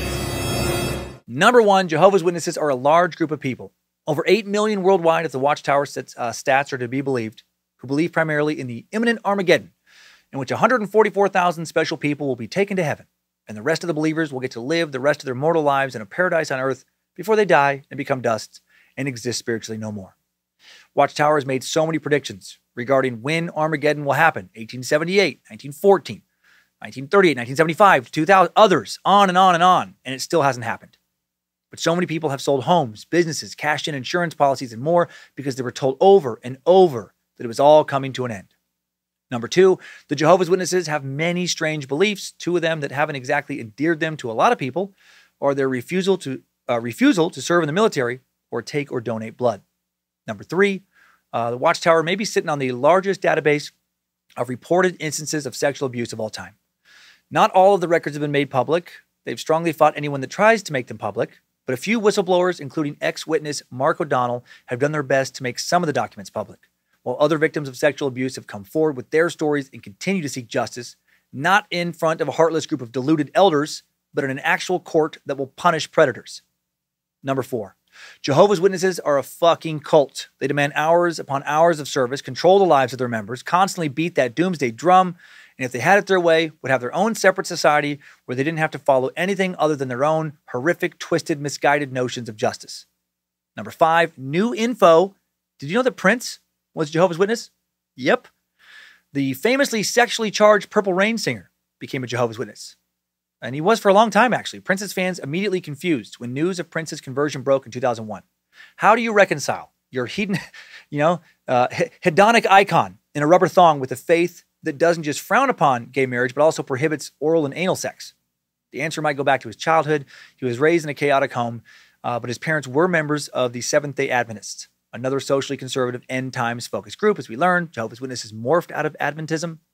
It apparently seemed to Prince that the Jehovah's Witness faith helped explain the growing social injustice he felt he saw all around him. When Mark Brown interviewed Prince in 2004 for the Rocky Mountain News, Prince told Brown he was interested in spirituality and answers not strange ceremonies or theories. I'm very practical, said Prince. You go Trekkie on me, I got to go. Okay. Uh, when he left, Prince gave Mark a Jehovah's Witness pamphlet, told him to call him day or night. It was a little uncomfortable for me, but it was very important to him, says Brown. It got pretty intense. Prince was introduced to the faith by Larry Graham, bassist for Sly and the Family Stone, another group known for sexual music. What the fuck? Prince even went door to door a little bit in Los Angeles, Minneapolis, handing out pamphlets on salvation. What a surreal experience to have the guy who wrote the lyrics to Little Nicky show up at your door and try and convert you to the Jehovah's Witnesses. That song opens with I knew a girl named Nikki. I guess you could say she was a sex fiend. I met her in a hotel lobby masturbating with a magazine. Clearly, no one told Prince that even coming on a pillow in your sleep is sinful. Oh my heck, Prince, what the frick? Uh, guessing that Prince donated enough and brought enough Watchtower exposure that maybe they bent the rules a little bit for him. Uh, he was a Jehovah's Witness from 2001 until his death in 2016, known as Brother Nelson to the fellow witnesses at a Kingdom Hall in the Minneapolis suburb of St. Louis Park, where apparently he studied the Bible with them weekly for years. And not the only celebrity to be a witness, Michael Jackson was a witness for a few years in the mid 80s. Uh, that one kind of makes sense, actually. I mean, come on. He probably joined because of the two witness rule. Uh, Venus and Serena Williams raised as witnesses and still are, I believe, the tennis stars, uh, at least as recently as 2018. What the fuck?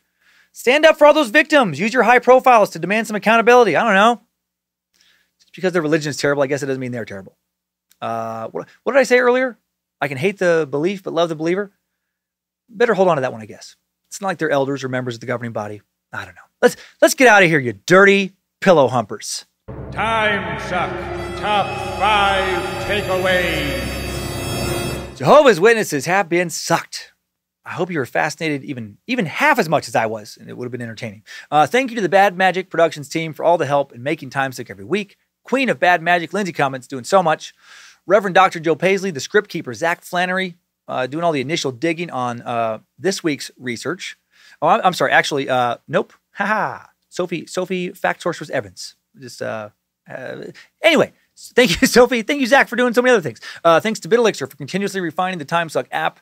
Logan, the art warlock Keith, our creative director running Bad Magic, badmagicmerch.com and more. Thanks to Liz, the Enchantress Hernandez, who runs our Cult of the Curious Facebook private page, currently Cult of the Curious 2, with her all seen eyes moderators and helping Logan with socials.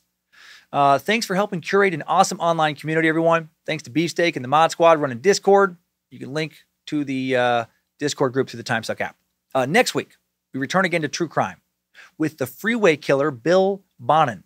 After being arrested in June of 1980, Bonin confessed to abducting, raping, killing 21 boys and young men, expressed no remorse, only embarrassment and regret over having been caught.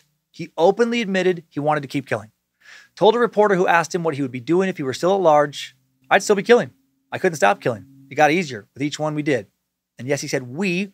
He had not one but four accomplices that helped him with most of his murders. His murder spree was short, roughly a year, but highly active in that year. Suspected of killing at least 36 people. Looked like the stereotype of a creepy serial killer, a creepy white dude with a mustache, prowling around in an old Ford Econoline van, pulling over, grabbing teens off the side of the road, horrifically torturing them. The freeway killer. Next week, it gets real fucking dark. But now, let's keep it relatively light and suck on over to this week's Time Sucker updates. Updates? Get your time sucker updates. Let's start with some laughs. Uh, and then we'll end on Savannah's Jehovah's Witness message. Uh, right now, humiliated sucker Chrissy P. Pants is wishing hellfire upon me. I get it. He writes, You should set yourself on fucking fire. It'd be better for everyone. Hello, my former favorite podcast host. Here's the story. I was walking through my local grocery store and listening to your dumb podcast on my earphones, Spe- specifically the Robin Williams suck. I was at the back of the store when you started talking about Goodwill Hunting. All of a sudden, you start yelling like an asshole about how anyone who doesn't go on to one of the best schools is stupid. And I start to laugh a bit. Then you start screaming about babies and diapers. And by the time you got to, you should set yourself on fucking fire, I started fucking pissing my pants, you bitch. I don't know if you know the layout of grocery stores, fucker, but the bathrooms are in front. So now I'm running with piss dripping down my leg and onto the floor, leaving a motherfucking trail. Are you listening? A piss trail. While I'm running and scream laughing like a fucking lunatic from the milk all the way to the goddamn registers, I shop here weekly, asshole. Anywho, I absolutely love Time Suck. But also, go fuck yourself. Chris. Chris, thank you for sharing your humiliation with us all. Uh, bad for you. Lots of smiles and laughs for us. Uh, I think you're going to have to find a new grocery store. Probably forever, but at least for a few months. Uh, I hope this and last week's episodes were enjoyed piss free.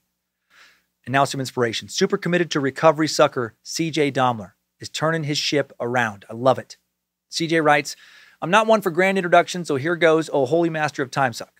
I'm an avid listener to everything Bad Magic, been a fan of your comedy for years, though I must say Time Suck is absolutely my favorite. Uh, also, as a side note, I love uh, when you've mentioned uh, Ayn Rand, my favorite author, and Guns, Germs, and Steel. Uh, cool. Uh, but on to the point, I want to let you know that through all of the episodes and every show, I finally pushed myself to do something I never could do before. I self admitted to an alcohol recovery center for inpatient therapy to deal with my alcoholism as a 23 year old, and finally, hopefully, find a way to deal with depression and anxiety. I was drowning myself in a fifth of liquor on an almost nightly basis, and I hit a breaking point.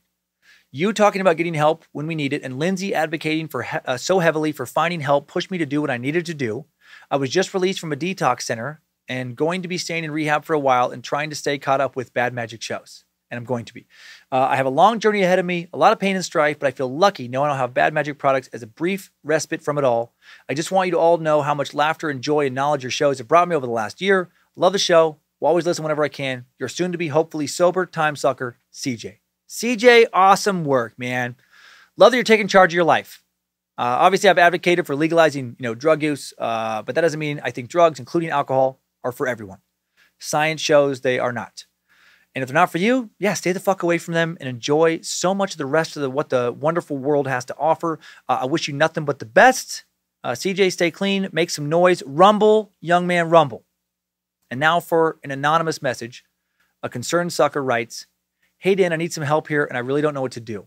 My brother in law is deep into conspiracy theories. You name it, he's into it. He mainly talks about flat earth and vaccines, conspiracies, but like I said, talks about a lot more. The guy is, is in his early 20s. I want to help pull him out of it as gently as, as I can. His family is currently living with us due to circumstances.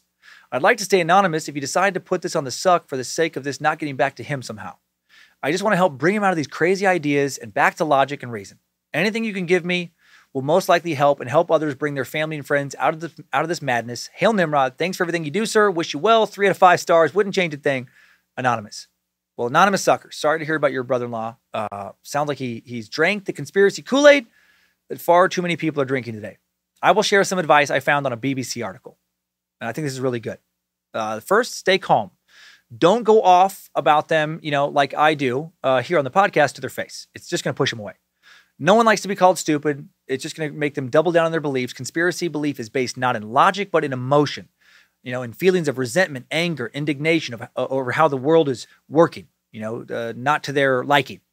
Uh, two, don't be dismissive. Hear them out. You know, hear him out. Approach his beliefs with empathy, not with ridicule. Again, do not do what I do here. Three, encourage critical thinking. Ask him why he doesn't apply the skepticism he employs against experts with the people he does believe. Why trust who he trusts? Ask a lot of questions. Get him to apply his own conspiratorial logic towards the people he believes. Uh, yeah, and four is just questions. Questions are better than assertions. Uh, come from a place of trying to understand him, not just tell him what's right and what's wrong. And lastly, and this is a big one, is patience. If you can pull him out, big if, unfortunately, it's going to take time in all likelihood. Trade information with him. Agree to look into his sources if he'll look into yours and discuss it. And do that over and over and over. And then hopefully, uh, you know, if he ever gets ready, maybe talk him into listening to one of my uh, sarcastic ass conspiracy episodes when he's ready. Good luck. I hope it helps. And last update this is Savannah, uh, the person that put this uh, uh, group of Jehovah's Witnesses on, on, our radar. This loving, fantastic, and concerned meat sack writes I've been a long time listener to Timesuck, and I greatly appreciate the time and research spent on your podcast. I'm hoping that maybe you can help or at least take a glance at a subject that has destroyed mine and many of those that I love. Uh, something that destroys families, allows rape and child abuse, encourages shunning, and promotes domestic abuse. I'm talking of Jehovah's Witnesses. This religion or cult, depending on view, digs its fingers into every aspect of life. From what you do with your body, i.e., giving blood, receiving blood, or life saving measures, tattoos, piercings, what you can and can't wear, who you can and can't talk to. This cult makes it known that there are only two sides, with or against, no questions. I was raised a Jehovah's Witness, my parents still are. I was a child of sexual abuse by a family within the Jehovah Witness community, as well as many I know, and it is something hushed and never spoken of. But if you do speak of it, you're a liar and ostracized. The witnesses have a very simple rule stemming from can, uh, canonical beliefs. Uh, two witnesses must witness an action, or the action never truly transpired. If a child or wife try to reach for help, they are threatened to not go to the police. They get asked if two people were witnessed to the event in question. If two witnesses were not present, it never happened. They still insist. Uh, they still, or oh, sorry, they then instill doubt amongst family and friends until you confess that it never happened, or choose to leave the congregation and leave everything and everyone you've known. This cycle repeats over and over, forcing many into suicide, uh, fearing expulsion from the church you are left with only one real option, and that is to remain silent. Videos are produced by the ruling caste promoting shunning as a gift of love to bring back former members or excommunicated members to the fold. This gift of love has taken many lives and will continue until attention is brought to this organization. Lawsuits have been filed and won in other countries over these actions, but mostly in America, uh, most in America are completely oblivious to this happening. After listening to your recent podcast about the LDS Church and hearing the depth in which you research every aspect of the church, I was prompted to write and request an episode regarding the Jehovah's Witnesses. I truly believe that you are one of the only ones who can do this topic justice and expose them and their corrupt teachings. Thank you for your time, Savannah. Well, Savannah, first off, I fucking love your name. Savannah is one of my favorite names. Uh, makes me think of like a Southern debutante or something. It's fancy in a good way. Uh, second, I hope I did this episode the justice that you and other victims uh, deserve. You know, I hope you are able to someday get your family out of this sad and, yes, very destructive cult. I hope the lawsuits you speak of, as I said earlier, bring them down someday. Hail you for being strong enough to get out. What a major accomplishment. I hope you're kicking so much fucking ass. I hope, you, I hope you're wearing the tightest of tight pants. Hail Lucifina, hail Nimrod, and hail you, Savannah. Let's get out of here. Next time, suckers. I needed that. We all did. Thanks again for listening to this Bad Magic Productions podcast, Meat Sacks. Thanks for five fantastic years. Please do not shun any family or friends this week because some deluded dumb fuck elders think that's what an angry God wants you to do. Just put on some tight ass pants and keep on sucking.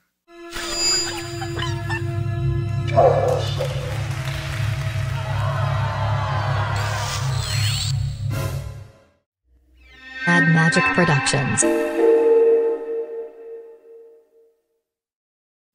Hey, uh, what a good looking and righteous crowd we have here in Heaven's Joke Joint. Uh, I got some great jokes for you. Uh, nice, clean, non offensive stuff. Uh, what was Moses' wife Zipporah known as when she'd throw dinner parties? The hostess with the Moses. Ho What do you call a biblical character who is just pulled into church? A parking lot. One more. What did pirates call Noah's boat? The Ark, matey. Oh, oh, oh! Try the veal. Jerry Christ says it's divine.